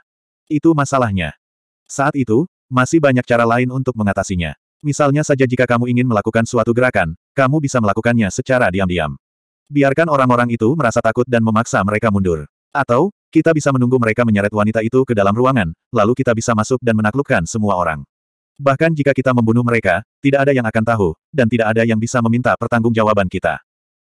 Kamu kekurangan terlalu banyak pengalaman dalam kehidupan orang biasa. Luan memandang si cantik yang, menarik napas dalam-dalam, dan berkata dengan serius, aku tahu bahwa latar belakang keluargamu tidaklah sederhana. Kemungkinan besar kamu sudah tinggi dan perkasa sejak kamu lahir. Anda tidak memahami kehidupan manusia biasa, Anda juga tidak memahami aturan-aturan di dunia manusia biasa. Apa yang Anda anggap sangat biasa, bisa jadi menjadi bencana bagi orang biasa. Mendengar kata-kata Luan, mata indah si cantik yang membelalak. Setelah beberapa saat, dia perlahan menjadi tenang. Dia menundukkan kepalanya, berlutut di tanah, dan berkata dengan lembut kepada Luan, aku tahu aku salah. Saya tidak akan meminta Anda untuk mendapatkan izin saya untuk semuanya. Anda dapat mengambil tindakan kapan pun Anda mau, tetapi jangan meninggalkan masalah bagi orang lain. Kata Luan. Melihat kecantikan yang berlutut di tanah, dia tahu bahwa dia sudah cukup berkata, jadi dia berkata, bangun. Si cantik yang perlahan bangkit dari tanah. Meski ada debu di lututnya, dia tidak menepuknya. Tuan, apa yang harus kita lakukan sekarang? Si cantik yang memandang Luan dan bertanya dengan lembut, apakah wanita itu akan mendapat masalah? N. Luan sedikit mengangguk dan berkata sambil mengerutkan kening, lagi pula, Aku khawatir meskipun kita bergerak, mereka tidak akan membiarkan wanita itu pergi. Si cantik yang mendengar ini dan tinjunya perlahan menegang. Luan secara alami dapat merasakan emosi si cantik yang. Dia juga memahami bahwa selama si cantik yang bergerak, tidak peduli kekuatan macam apa yang dimiliki pihak lain di kota merebut cahaya, mereka pasti bisa menghilangkan semua masalah di masa depan. Namun, Luan tidak mau melakukan itu. Mengatasi masalah adalah salah satu hal yang selalu dianggap Luan sebagai latihan. Ini akan membuat jalan masa depannya lebih mulus. Pertama, kita harus mencari tahu latar belakang pihak lain. Setelah berpikir sejenak, Luan berkata dengan suara yang dalam, jika itu adalah kekuatan biasa, maka uang akan cukup untuk menyelesaikannya. Dari penampilan gadis itu, dia seharusnya menjadi seorang pelayan. Tidak ada seorang pun yang akan mempermasalahkan seorang pelayan. Tetapi jika kekuatan pihak lain sangat besar, maka itu akan menjadi sedikit sulit. Luan mengerutkan kening dan berkata, jika itu benar-benar seseorang dengan reputasi di kota merebut cahaya, maka mereka ingin menyelamatkan mukanya. Jika demikian, maka uang tidak akan mampu memuaskan pihak lain. Tentu saja, kecuali uangnya banyak. Saya punya uang, si cantik yang berkata, dan banyak lagi. Luan memandang si cantik yang dan berkata, aku tahu kamu punya uang, tapi ini tidak sepadan. Terlebih lagi, memberikan uang kepada kekuatan yang lebih rendah tidak ada bedanya dengan membantu harimau melakukan kejahatan. Si cantik yang terkejut, dia memandang Luan dan berkata, lalu apa yang harus kita lakukan? Buat masalah. Luan berpikir sejenak dengan serius dan berkata, cara terbaik untuk menyelesaikan masalah adalah dengan menciptakan masalah.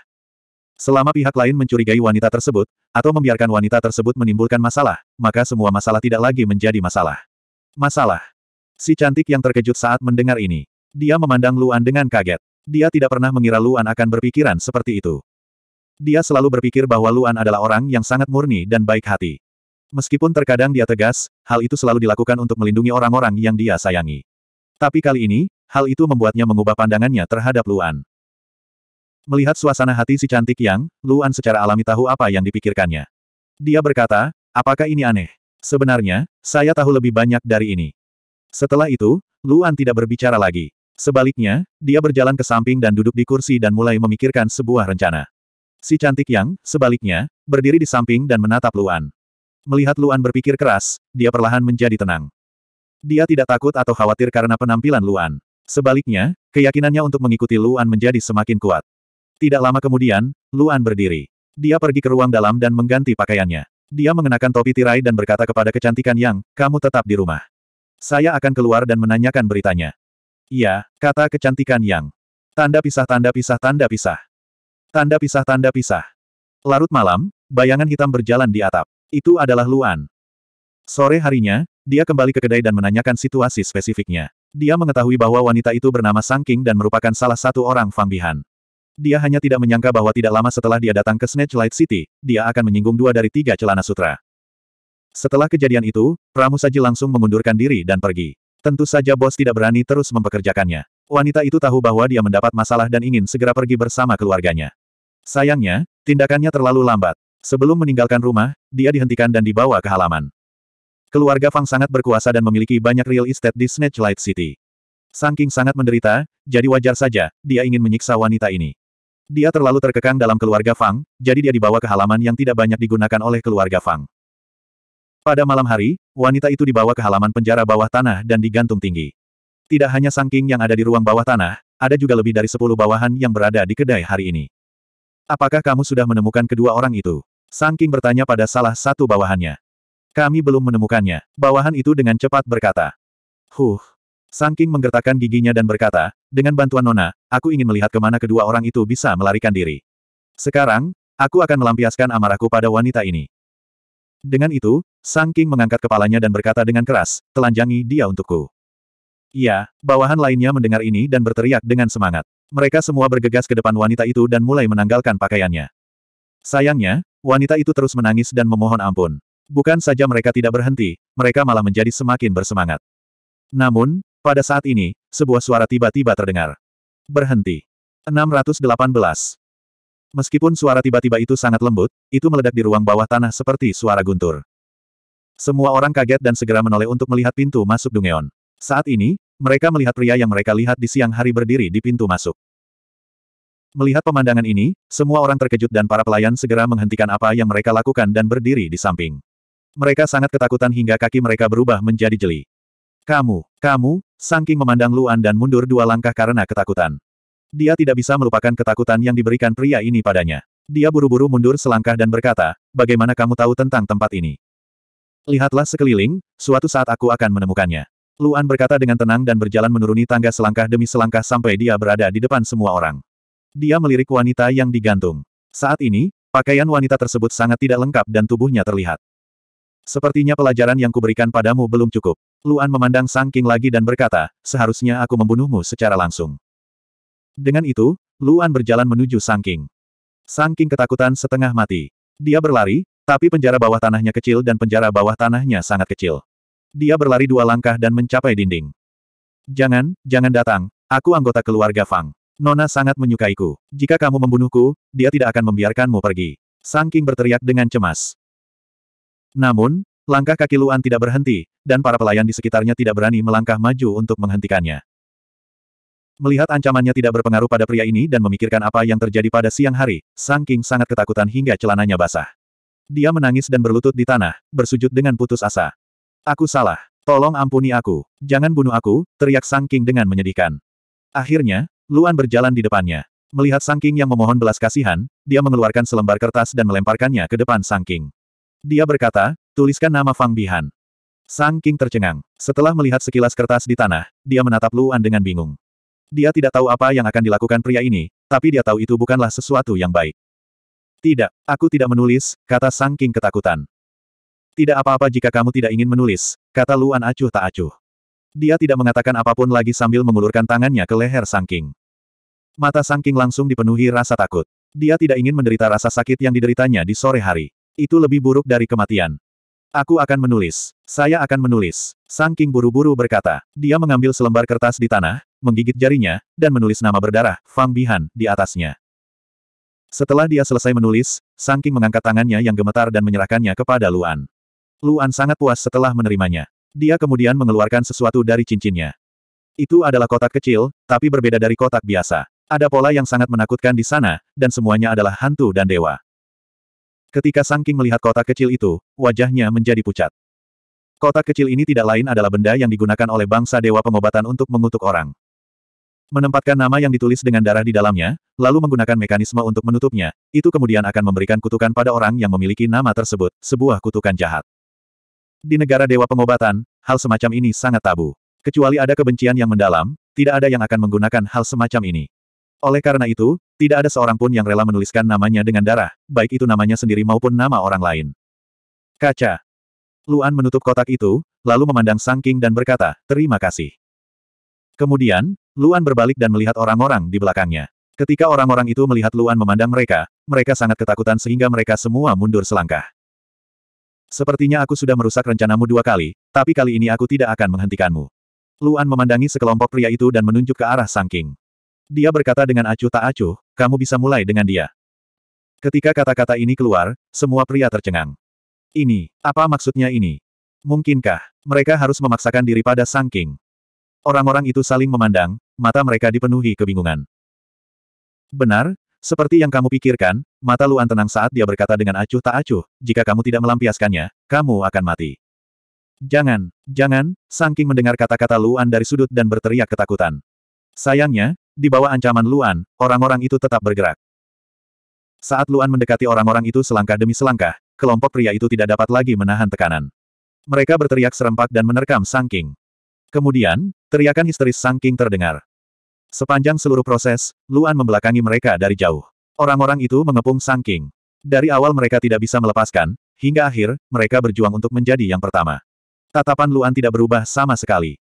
Luan tidak ingin melihat pemandangan seperti itu. Jika bukan karena dia khawatir akan ada jebakan atau jalan rahasia yang akan merusak rencananya, dia akan menunggu di luar. Setelah hampir dua jam, semuanya akhirnya tenang. Orang-orang itu telah melampiaskan amarahnya pada Sang King, yang sudah roboh ke tanah. Matanya terbuka lebar seolah dia kehilangan akal sehatnya. Setelah para lelaki itu selesai, mereka bangkit dan mengenakan pakaian mereka. Mereka memandang Luan dengan ketakutan. Luan tidak ingin melihat tubuh mereka. Tanpa berbalik, dia melepaskan lebih dari sepuluh roda takdir dan terbang ke arah orang-orang itu. Bang, bang, bang. Setiap roda takdir menghantam seorang pria di antara kedua alisnya. Segera, semuanya jatuh ke tanah. Mereka tidak mati. Mereka hanya pingsan dan tidak ada bekas luka yang tersisa. Setelah melakukan semua ini, Luan berbalik dan berjalan menuju Sangking selangkah demi selangkah. Sangking masih sadar, tapi matanya kusam. Luan tidak menunjukkan simpati apa pun. Dia menjatuhkannya juga. Lalu, dia melempar kotak itu ke sebelahnya. Setelah melakukan semua ini, Luan mendatangi wanita yang ketakutan itu. Dalam prosesnya tadi, Luan telah menyelamatkannya dan memberinya satu set pakaian untuk dipakai. Kamu telah melihat semua ini. Luan memandang wanita itu dan berkata dengan suara yang dalam, jika ada yang bertanya padamu, katakan saja kamu belum pernah ke sini dan tidak tahu apa-apa. Apakah kamu mengerti? Jika ada yang tahu bahwa Anda ada di sini, Anda akan dibunuh sebagai kaki tangan saya. Ketika wanita itu mendengar kata-kata Luan, dia segera mengangguk dan berkata, saya mengerti. Saya akan mengingatnya. Jangan khawatir, tidak ada yang melihat mereka menangkapmu. Selain itu, tidak ada yang akan peduli padamu setelah ini. Luan memandang wanita yang ketakutan itu dan berkata, jika kamu benar-benar khawatir, aku bisa memberimu sejumlah uang dan membawa keluargamu keluar dari Snatching Light City. Ini, tidak perlu, wanita itu memandang Luan. Meskipun dia takut, dia tetap mengucapkan terima kasih, terima kasih, dermawan. Aku akan membawamu keluar dari sini. Kamu tidak boleh terlihat, kata Luan. Kemudian, dia membawa wanita itu dan segera pergi di malam hari. Setelah mengirim wanita itu ke tempat yang aman, Luan tidak kembali ke halaman rumahnya. Sebaliknya, dia kembali ke halaman tempat penjara bawah tanah itu berada. Dia melakukan satu hal, yaitu membakar tempat itu. Dengan sangat cepat, halaman itu terbakar. Namun apinya tidak besar. Faktanya, jumlahnya sangat kecil. Ketika Luan membakar tempat itu, para master surgawi dari persekutuan alkemis sedang berpatroli. Segera, guru surgawi memperhatikan situasinya dan segera datang untuk memadamkan api. Kemudian, mereka menemukan pintu terbuka di halaman yang menuju ke ruang bawah tanah. Setelah masuk, dia menemukan bahwa ruang bawah tanah itu berantakan total. Kemudian, berita itu menyebar dengan cepat. Malam ini ditakdirkan untuk tidak menjadi malam yang damai. Melihat semuanya berjalan sesuai rencana, Luan meninggalkan halaman dan kembali ke halaman rumahnya sendiri. Di pavilion di halaman, kecantikan yang menunggunya di bawah sinar bulan. Ketika dia melihat Luan telah kembali, dia menghampirinya. Tuan, bagaimana kabarnya? Si cantik yang memandang Luan dan bertanya. Untungnya, tidak ada kesalahan. Luan berkata dengan lembut, tapi aku tidak bisa menjamin apa pun. Aku harus menunggu sampai besok untuk melihat berita dan rencana keluarga Fang. Kecantikan yang sedikit mengangguk. Meskipun dia tidak tahu apa yang telah dilakukan Luan, Luan selalu sangat mantap. Seharusnya tidak ada kesalahan. Namun, si cantik yang tiba-tiba menyadari bahwa wajah Luan sedikit merah. Dia bertanya, Guru, ada apa dengan wajahmu? Saat si cantik yang bertanya, wajah Luan menjadi semakin merah. Mau bagaimana lagi, siapa pun pasti bereaksi setelah mendengarkan suara itu selama dua jam. Luan kuat dan muda, jadi reaksinya bahkan lebih jelas. Namun, Luan selalu mampu menahan keinginannya. Pesona kecantikan yang tidak ada bandingannya dengan orang biasa. Ketika dia melihat si cantik yang, Luan hanya bisa tersipu malu. Kecantikan yang berpengalaman dan segera memahami emosi Luan. Lalu, dia juga tersipu. Dia adalah wanita Luan. Kapan pun Luan menginginkannya, dia tidak akan keberatan. Dia telah mengatakan ini pada Luan sebelumnya, jadi Luan tentu saja mengetahuinya. Apalagi dia juga seorang wanita. Namun, Luan hanya menarik napas dalam-dalam dan tersenyum canggung pada si cantik yang. Dia berkata, saya akan kembali berkultivasi dulu. Kemudian, dia dengan cepat menghilang dari pandangan si cantik yang. 619. Keesokan harinya, berita mengerikan menyebar ke seluruh Snatching Light City. Pada dini hari malam sebelumnya, penguasa surgawi dari Persatuan Alkemis menemukan 13 pria dan seorang wanita melakukan persinahan di penjara bawah tanah di halaman. Jika itu adalah hubungan biasa, tentu saja tidak ada yang peduli. Tapi dengan banyaknya pria dan wanita, permainan seperti ini sungguh mengejutkan. Mereka bahkan tidak berani memikirkan hal semacam ini. Namun, yang paling penting adalah keempat belas orang ini semuanya berasal dari klan Fang. Wanita itu tidak lain adalah salah satu bawahan kebanggaan Fang Bihan, Sang King. Tidak hanya itu, para penguasa surgawi dari Persatuan Alkemis menemukan kotak kutukan di tanah. Setelah membukanya, mereka menemukan nama Fang Bihan tertulis di dalamnya, dan berita ini dengan cepat menyebar. Siapa pun yang dikutuk oleh pelayannya sendiri mungkin tidak akan mampu menanggungnya, apalagi Fang Bihan, salah satu dari tiga orang boros. Setelah diinterogasi oleh Persatuan Alkemis, pagi-pagi sekali, Persatuan Alkemis mengirim 14 orang ke kediaman keluarga Fang. Setelah mengetahui apa yang terjadi, ekspresi anggota keluarga Fang sangat buruk. Mereka tidak menyangka bahwa citra keluarga Fang yang dibangun dengan susah payah akan dirusak oleh para budak ini. Ketika orang lain melihat para pelayan ini menyebabkan masalah, mereka akan berpikir bahwa tuannya juga sama.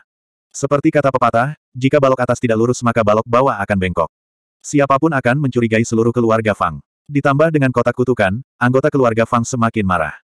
Di aula utama, kepala keluarga Fang, Fang Mou, sangat marah. Melihat para budak yang berlutut di depannya, dia hanya ingin membunuh mereka segera. Fang Bihan juga hadir. Setelah mengetahui bahwa dia dikutuk, suasana hatinya menjadi sangat suram. Tapi kalaupun mereka ingin mengeksekusi orang-orang ini, mereka harus tahu apa yang terjadi. Fang Mo menunjuk ke arah para budak dan berteriak, bicaralah. Apa yang telah terjadi? Tubuh Sang King bergetar hebat. Dia segera bersujud dan menceritakan semua yang terjadi kemarin sore dan tadi malam dengan lengkap. Pada titik ini, untuk bertahan hidup, dia tidak menyembunyikan apa pun. Nona, aku benar-benar tidak melakukan kotak kutukan itu. Orang itu yang memaksaku. Sang King menangis dan berkata, bahkan jika kamu memberiku seratus nyali, aku tidak akan berani untuk tidak menghormati Nona.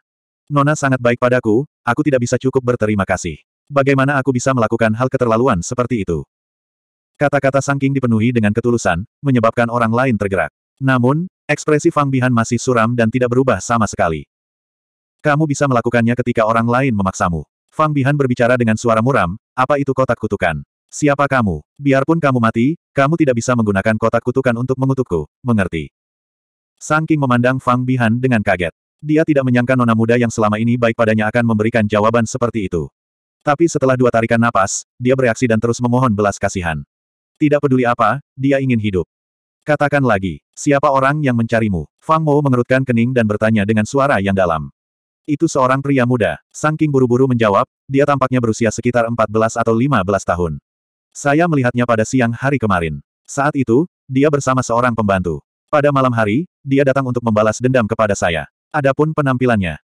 Sang King banyak bicara, tapi sayang ekspresinya terlalu buruk. Terlalu sedikit informasi yang dapat diterima masyarakat. Bahkan artis di sampingnya menggelengkan kepalanya setelah mendengarkan. Tidak, kata artis itu kepada Fang Mou. Dengan benda-benda ini, mustahil untuk menggambar potret yang akurat. Sekelompok sampah. Fang Mou membanting kursi dan meneriaki para budak di depannya. Apa yang kita lakukan sekarang? Seseorang di samping bertanya. Berani menyerang kita, aku khawatir dia bukan dari Snatching Light City. Dia mungkin pergi di malam hari. Iya, Kerutan di dahi Fang Mo semakin dalam. Dia menoleh ke pengurus rumah tangga dan bertanya, bagaimana menurut Anda? Pengurus rumah tangga memiliki status tinggi di keluarga Fang. Meskipun dia bukan dari keluarga Fang, dia selalu memberikan nasihat dan nasihat kepada keluarga Fang. Menurutku tidak sesederhana itu. Pengurus rumah tangga berpikir sejenak dan berkata, sepertinya karena apa yang terjadi kemarin siang, tapi mungkin itu jebakan. Melanjutkan, kata Fang Mou. Jika itu adalah orang yang lewat, mengapa mereka berkelahi ketika seorang pelayan di sebuah kedai minuman dianiaya? Pengurus rumah tangga berkata dengan serius, saya curiga masalah ini sudah direncanakan sebelumnya. Bahkan jika pelayan itu bukan salah satu dari mereka, tidak peduli apa yang terjadi kemarin, pihak lain mungkin datang mencari masalah. Tujuan pihak lain sudah jelas. Mereka ingin merusak reputasi keluarga Fang kita. Jika itu orang asing, mereka bisa saja membunuh seseorang. Mengapa mereka mempunyai motif tersembunyi seperti itu? Jadi, Pasti ada keluarga setempat yang ingin mengambil tindakan terhadap kami. Mendengar ini, Fang Mo mengerutkan kening. Memang benar, dia juga telah memikirkan hal ini. Pengurus rumah tangga memiliki pemikiran yang sama dengannya. Seseorang dengan sengaja menentang keluarga Fang. Di Snatching Light City, hanya empat keluarga lainnya yang memiliki nyali dan kekuatan untuk melakukannya. Lima keluarga besar akhir-akhir ini tidak damai. Sepertinya kali ini, seseorang akhirnya tidak tahan lagi dan mengambil langkah pertama. Apa pun yang terjadi, kita harus mencari tahu siapa pelakunya. Fang Mo berpikir sejenak dan berkata, mintalah seseorang untuk memeriksa pergerakan empat keluarga lainnya. Lihat apakah ada yang aneh. Selain itu, kita juga harus bersiap untuk berperang. Kita tidak bisa membiarkan orang lain memanfaatkan segalanya. Iya, orang-orang di sekitarnya langsung berkata. Bagaimana kita harus menghadapinya? Seseorang melihat keempat belas orang yang masih berlutut dan bertanya.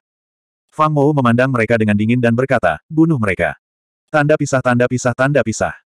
Tanda pisah tanda pisah.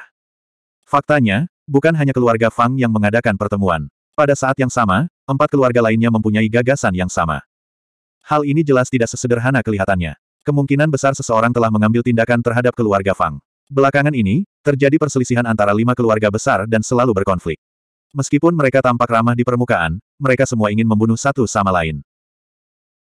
Keempat keluarga itu menebak-nebak keluarga mana yang telah mengambil tindakan terhadap keluarga Fang, bagaimana keluarga Fang akan menghadapinya, dan bagaimana mereka akan mengambil keputusan. Lagi pula, tidak satu pun dari lima keluarga besar yang bisa lolos dari pertarungan. Lima keluarga besar semuanya adalah orang-orang pintar. Mereka tidak akan memberikan kesempatan kepada siapa pun untuk duduk di gunung dan menyaksikan harimau berkelahi. Begitu lima keluarga besar terlibat, akan menjadi masalah untuk memihak. Merebut kota cahaya adalah sumber daya yang sangat besar. Kalau dipikir-pikir, jika lima keluarga besar dikurangi menjadi empat atau bahkan kurang, keuntungan setiap keluarga akan meningkat pesat. Empat keluarga besar juga mengirimkan orang untuk mencari tahu lebih banyak tentang pihak lain. Mereka sangat dekat satu sama lain, termasuk apa yang terjadi di pub hari itu. Hanya pemilik pub yang ditanyai berkali-kali selama tiga hari berikutnya. Tentu saja, pelanggan lain melihatnya dan beritanya pun menyebar. Pergerakan lima klan besar menyebabkan seluruh kota perebutan cahaya menjadi gugup. Lima keluarga besar mengetahui bahwa empat keluarga lainnya sedang mencari informasi, tetapi Fang Mou tidak menyangka bahwa empat keluarga lainnya tidak mengetahuinya. Seseorang hanya berpura-pura. Pemikiran ini juga muncul di kepala empat keluarga lainnya. Demi mengetahui informasi lebih lanjut, kelima keluarga besar tersebut bahkan sempat beberapa kali bertemu. Karena periode khusus ini, semua orang menjadi sangat sensitif. Bahkan ada beberapa kali mereka bertengkar sehingga membuat situasi semakin membingungkan. Karena itu, Lima keluarga besar pun ikut membersihkan mata-mata musuh di timnya masing-masing. Ini adalah sesuatu yang dipahami semua orang. Namun saat ini, hal-hal yang tidak menyenangkan ini tidak bisa dibiarkan begitu saja. Dalam waktu singkat, mata-mata tersebut terbunuh, membuat lima keluarga besar semakin berlumuran darah. Semua orang di Snatching Light City bisa merasakan suasananya. Semua orang tahu bahwa perang antara lima klan besar akan segera pecah. Sebagai pemicu semua ini, Luan diam-diam memurnikan pil di rumah. Dia sebenarnya tidak keluar selama seminggu penuh. 620. Luan memang sedang memurnikan pil, dan pada dasarnya dia tidak keluar minggu ini. Sedangkan untuk makanan dan yang lainnya, semuanya dibeli oleh kecantikan yang di luar. Dia, sebaliknya, dengan sepenuh hati memurnikan pil. Bagaimanapun, itu adalah material senilai 90 ribu emas, ditambah fakta bahwa menyempurnakan pil api hati sangat merepotkan, mengakibatkan dia praktis tidak beristirahat minggu ini. Akhirnya, sekitar tengah hari tujuh hari kemudian, Luan menghela nafas lega dan memasukkan pil api jantung terakhir ke dalam kotak brokat. Pada titik ini, semua pil api jantung telah dimurnikan. Melihat sembilan pil api hati, Luan akhirnya mengungkapkan senyuman. Dengan pil api jantung ini, dia punya uang untuk membeli resep pil-pil obat tingkat lima. Pil api jantung adalah puncak dari pil obat tingkat empat, dan dianggap sebagai salah satu pil obat termahal di antara pil obat tingkat empat. Sembilan pil api hati ini dapat dijual setidaknya dengan harga 2 juta koin emas atau lebih, dan uang sebanyak ini tentu saja merupakan angka astronomi yang belum pernah dilihat Luan sebelumnya. Ini adalah pertama kalinya Luan merasa mendapatkan uang itu mudah. Ketika dia masih menjadi budak, bahkan koin tembaga pun sangat mewah baginya. Tapi sekarang, hanya berdasarkan uang dari sembilan pil api jantung ini, bahkan jika dia menjual kamar dagang Al-Qaid, dia tetap tidak bisa mengeluarkannya. Jika Liu Yi tahu bahwa dia bisa mendapatkan begitu banyak uang sekarang, siapa yang tahu ekspresi seperti apa yang akan dia miliki. Namun, mengira uang yang diperolehnya akan segera habis, Luan hanya bisa tersenyum pahit. Benar saja, apoteker adalah profesi yang menghasilkan uang, tetapi juga mengeluarkan uang. Meski merasa sakit hati, uang itu tetap harus dikeluarkan. Setelah memasukkan kotak brokat ke dalam cincinnya, Luan membuka pintu, berjalan melewati koridor panjang, dan tiba di danau kecil di halaman. Dia tahu bahwa si cantik yang biasanya suka duduk di sini, dan tentu saja, dia melihat sosok si cantik yang. Bukan hanya si cantik yang, tapi Xiao Rou juga duduk di hadapannya. Setelah tujuh hari pemulihan, kondisi mental Xiao Rou juga perlahan menyesuaikan diri. Meskipun dia masih sangat takut pada manusia, setidaknya dia tidak melawan Luan dan si cantik yang. Harus dikatakan bahwa kecantikan Yang dan Xiao Rou yang tinggal bersama di pavilion benar-benar jauh lebih indah daripada pemandangan sekitarnya. Kecantikan yang mulia dan dingin, sedangkan Xiao Rou berwarna biru dan alami. Keduanya memiliki ciri ekstrim yang eye-catching. Segera, Luan masuk ke pavilion. Si cantik yang secara alami tahu bahwa Luan telah tiba. Dia berdiri, sedikit membungkuk ke arah Luan, dan berkata dengan lembut, Tuan. Di samping, Roro buru-buru berdiri ketika dia melihat Luan dan membungkuk padanya. Tuan muda Lu. Xiaoro ingin memanggilnya Tuan, tapi permintaan Xiaoro, Xiaoro ingin memanggilnya Tuan, Tuan Yang. Xiaoro, seseseseseseses tidak setuju. Sedangkan untuk kecantikan yang, selama periode waktu ini, Luan dapat dianggap sudah terbiasa dengan kecantikan yang semacam ini. Dia berkata, berkemas, ayo keluar makan siang dan menjual ramuannya. Tuan, apakah Anda sudah selesai menyempurnakannya? Si cantik yang terkejut dan bertanya. Iya, Luan mengangguk. Dia menoleh ke arah Xiao Rou dan berkata, Nona Xiao Rou, lebih baik kamu tidak keluar. Xiao Rou tersenyum langka sambil mengangguk dan berkata, ya, aku akan menunggumu di sini. Setelah bertukar beberapa kata lagi, Luan meninggalkan halaman bersama si cantik yang. Mereka tidak pergi ke kedai minuman, melainkan ke rumah lelang keluarga Li. Setelah tiba di rumah lelang, Luan mengikuti staf layanan ke koridor tempat mereka berada sebelumnya. Segera, Luan memasuki sebuah ruangan. Di dalam ruangan itu ada wanita dukun yang terakhir kali melayani Luan. Saat melihat kedatangan Luan, Tabi pada awalnya tertegun, tapi dia segera mengingat Luan dan berkata sambil tersenyum, apakah kamu di sini untuk menjual pil obat lagi? Luan mengangguk, mengeluarkan kotak brokat dari cincinnya, dan berkata, silakan lihat. Wanita dukun itu mengambil kotak brokat itu sambil tersenyum. Pil Luan telah memberinya sepuluh ribu emas. Meski jumlahnya tidak banyak, ia senang menuai tanpa menabur. Oleh karena itu, dia membuka kotak brokat itu dengan penuh harap. Ia berharap pil kali ini tidak lebih buruk dari pil sebelumnya. Namun, saat kotak brokat dibuka, aroma pilnya tercium. Wanita itu tercengang. Ekspresinya membeku. Ini, apakah pil api jantung? Wanita itu melihat ke sembilan pil di dalam kotak brokat dan bertanya dengan tidak percaya. Iya. Luan mengangguk dan berkata, aku ingin tahu berapa nilai sembilan pil api hati ini. Wanita itu mengangkat kepalanya dan menatap Luan dengan kaget. Dia tidak menyangka Luan akan mengeluarkan pil api hati kali ini. Meskipun yang dikeluarkan Luan terakhir kali juga merupakan pil obat tingkat 4, dibandingkan dengan pil api jantung, pil itu masih jauh lebih rendah. Pil Heartfire dianggap sebagai pil bermutu tinggi bahkan di Snatching Light City. Meskipun pil api jantung adalah pil kelas 4, proses pemurniannya terlalu sulit. Itu terlalu sulit bagi seorang ahli pengobatan kelas 4. Tidak banyak ahli pengobatan yang bisa memperbaikinya. Kalaupun bisa, tingkat keberhasilannya tidak tinggi. Itu adalah pemborosan material yang sangat besar. Oleh karena itu, pil api jantung di kota merebut cahaya biasanya disempurnakan oleh ahli pengobatan kelas 5. Meskipun pil api jantung jauh lebih buruk daripada pil kelas 5, sampai batas tertentu, pil api jantung memiliki keunggulan yang unik. Itu jelas menunjukkan peningkatan kekuatan. Bahkan bagi guru surgawi kelas 5, hal itu mempunyai pengaruh yang signifikan. Pada saat yang sama, itu adalah pil kelas 4. Dibandingkan pil kelas 5, harganya beberapa kali lebih murah. Oleh karena itu, pil api hati sangat populer di kalangan guru surgawi kelas 4 dan 5. Hampir setiap orang harus memilikinya karena dapat menyelamatkan nyawa mereka di saat kritis. Dan bagi para guru surgawi yang sering berburu binatang aneh, itu sangatlah penting. Wanita itu dengan hati-hati mengamati pil api jantung. Dia sangat akrab dengan evaluasi pil api jantung. Sebenarnya, efek obat yang kuat dari pil api jantung dapat dilihat dari pola di permukaannya. Setelah wanita itu mengamatinya dengan cermat, dia tidak bisa menahan diri untuk tidak menghirup udara dingin. Sempurna. Benar-benar sempurna. Warna merah bulatnya tidak bocor sama sekali. Dapat dikatakan bahwa semua efek pengobatan tersimpan sempurna di dalamnya. Ini adalah pil api jantung terbaik yang pernah dilihatnya. Bahkan jika itu disempurnakan oleh ahli pengobatan kelas 5, akan ada banyak efek obat yang bocor. Itu tidak bisa dibandingkan dengan sembilan pil di depannya. Luan melihat wanita itu menatap pil api jantung untuk waktu yang lama. Dia tidak bisa tidak bertanya, saya ingin tahu berapa harga sembilan pil ini. Mendengar hal itu, tubuh wanita itu bergetar. Baru pada saat itulah dia pulih dari pikirannya. Dia mengangkat kepalanya dan menatap Luan. Kali ini, tatapannya berubah total. Dia menjadi sangat serius. Sembilan pil ini, satu untuk 250 ribu emas. Totalnya 250 ribu emas. Wanita itu memandang Luan dan berkata dengan serius, untuk mengungkapkan ketulusan kami, saya bersedia membayar 300 ribu emas untuk satu pil. Totalnya adalah 270 ribu emas. Saya harap Anda dapat menjualnya. Pil api hati kepadaku di masa depan. Setelah mendengar harganya, Luan sangat senang. Dia tidak menyangka angkanya lebih tinggi dari perkiraannya. Tapi setelah mendengar kata-kata wanita itu, Luan tersenyum dan menggelengkan kepalanya. Pil ini tidak saya perbaiki. Saya tidak tahu apakah masih ada lagi.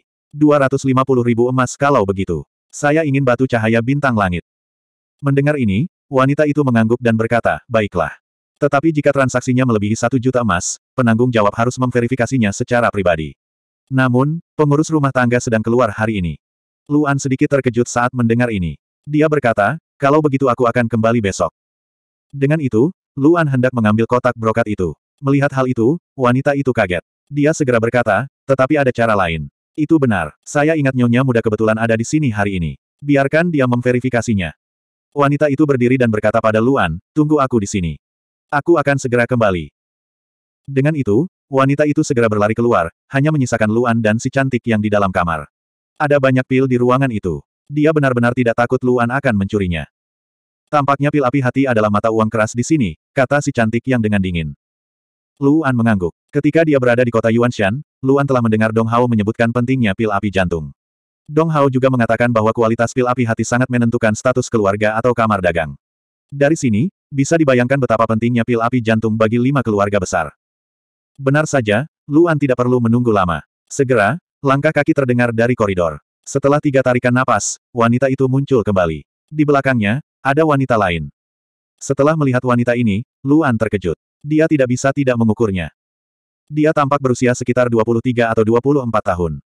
Dia memiliki rambut pendek yang hanya mencapai lehernya. Dia terlihat sangat rapi. Wajahnya juga terkemuka. Lebih penting lagi, itu adalah temperamennya. Awalnya, Luan mengira dia memiliki temperamen seorang simpanan muda. Dia tidak berharap dia menjadi sangat mampu. Matanya penuh kelihayan. Jelas sekali bahwa dia terlibat dalam pengelolaan dan operasional keluarga. Dia bukanlah fas sederhana.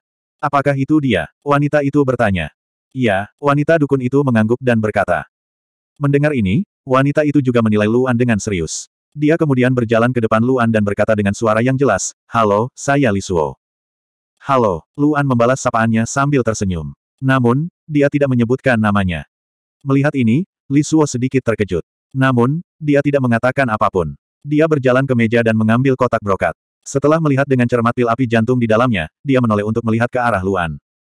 Tiga juta emas. Li Suo berkata langsung, kali ini hanya transaksinya saja. Jika Tuan Muda Lu masih bisa membawakan pil api hati di masa depan, harganya akan dinaikkan.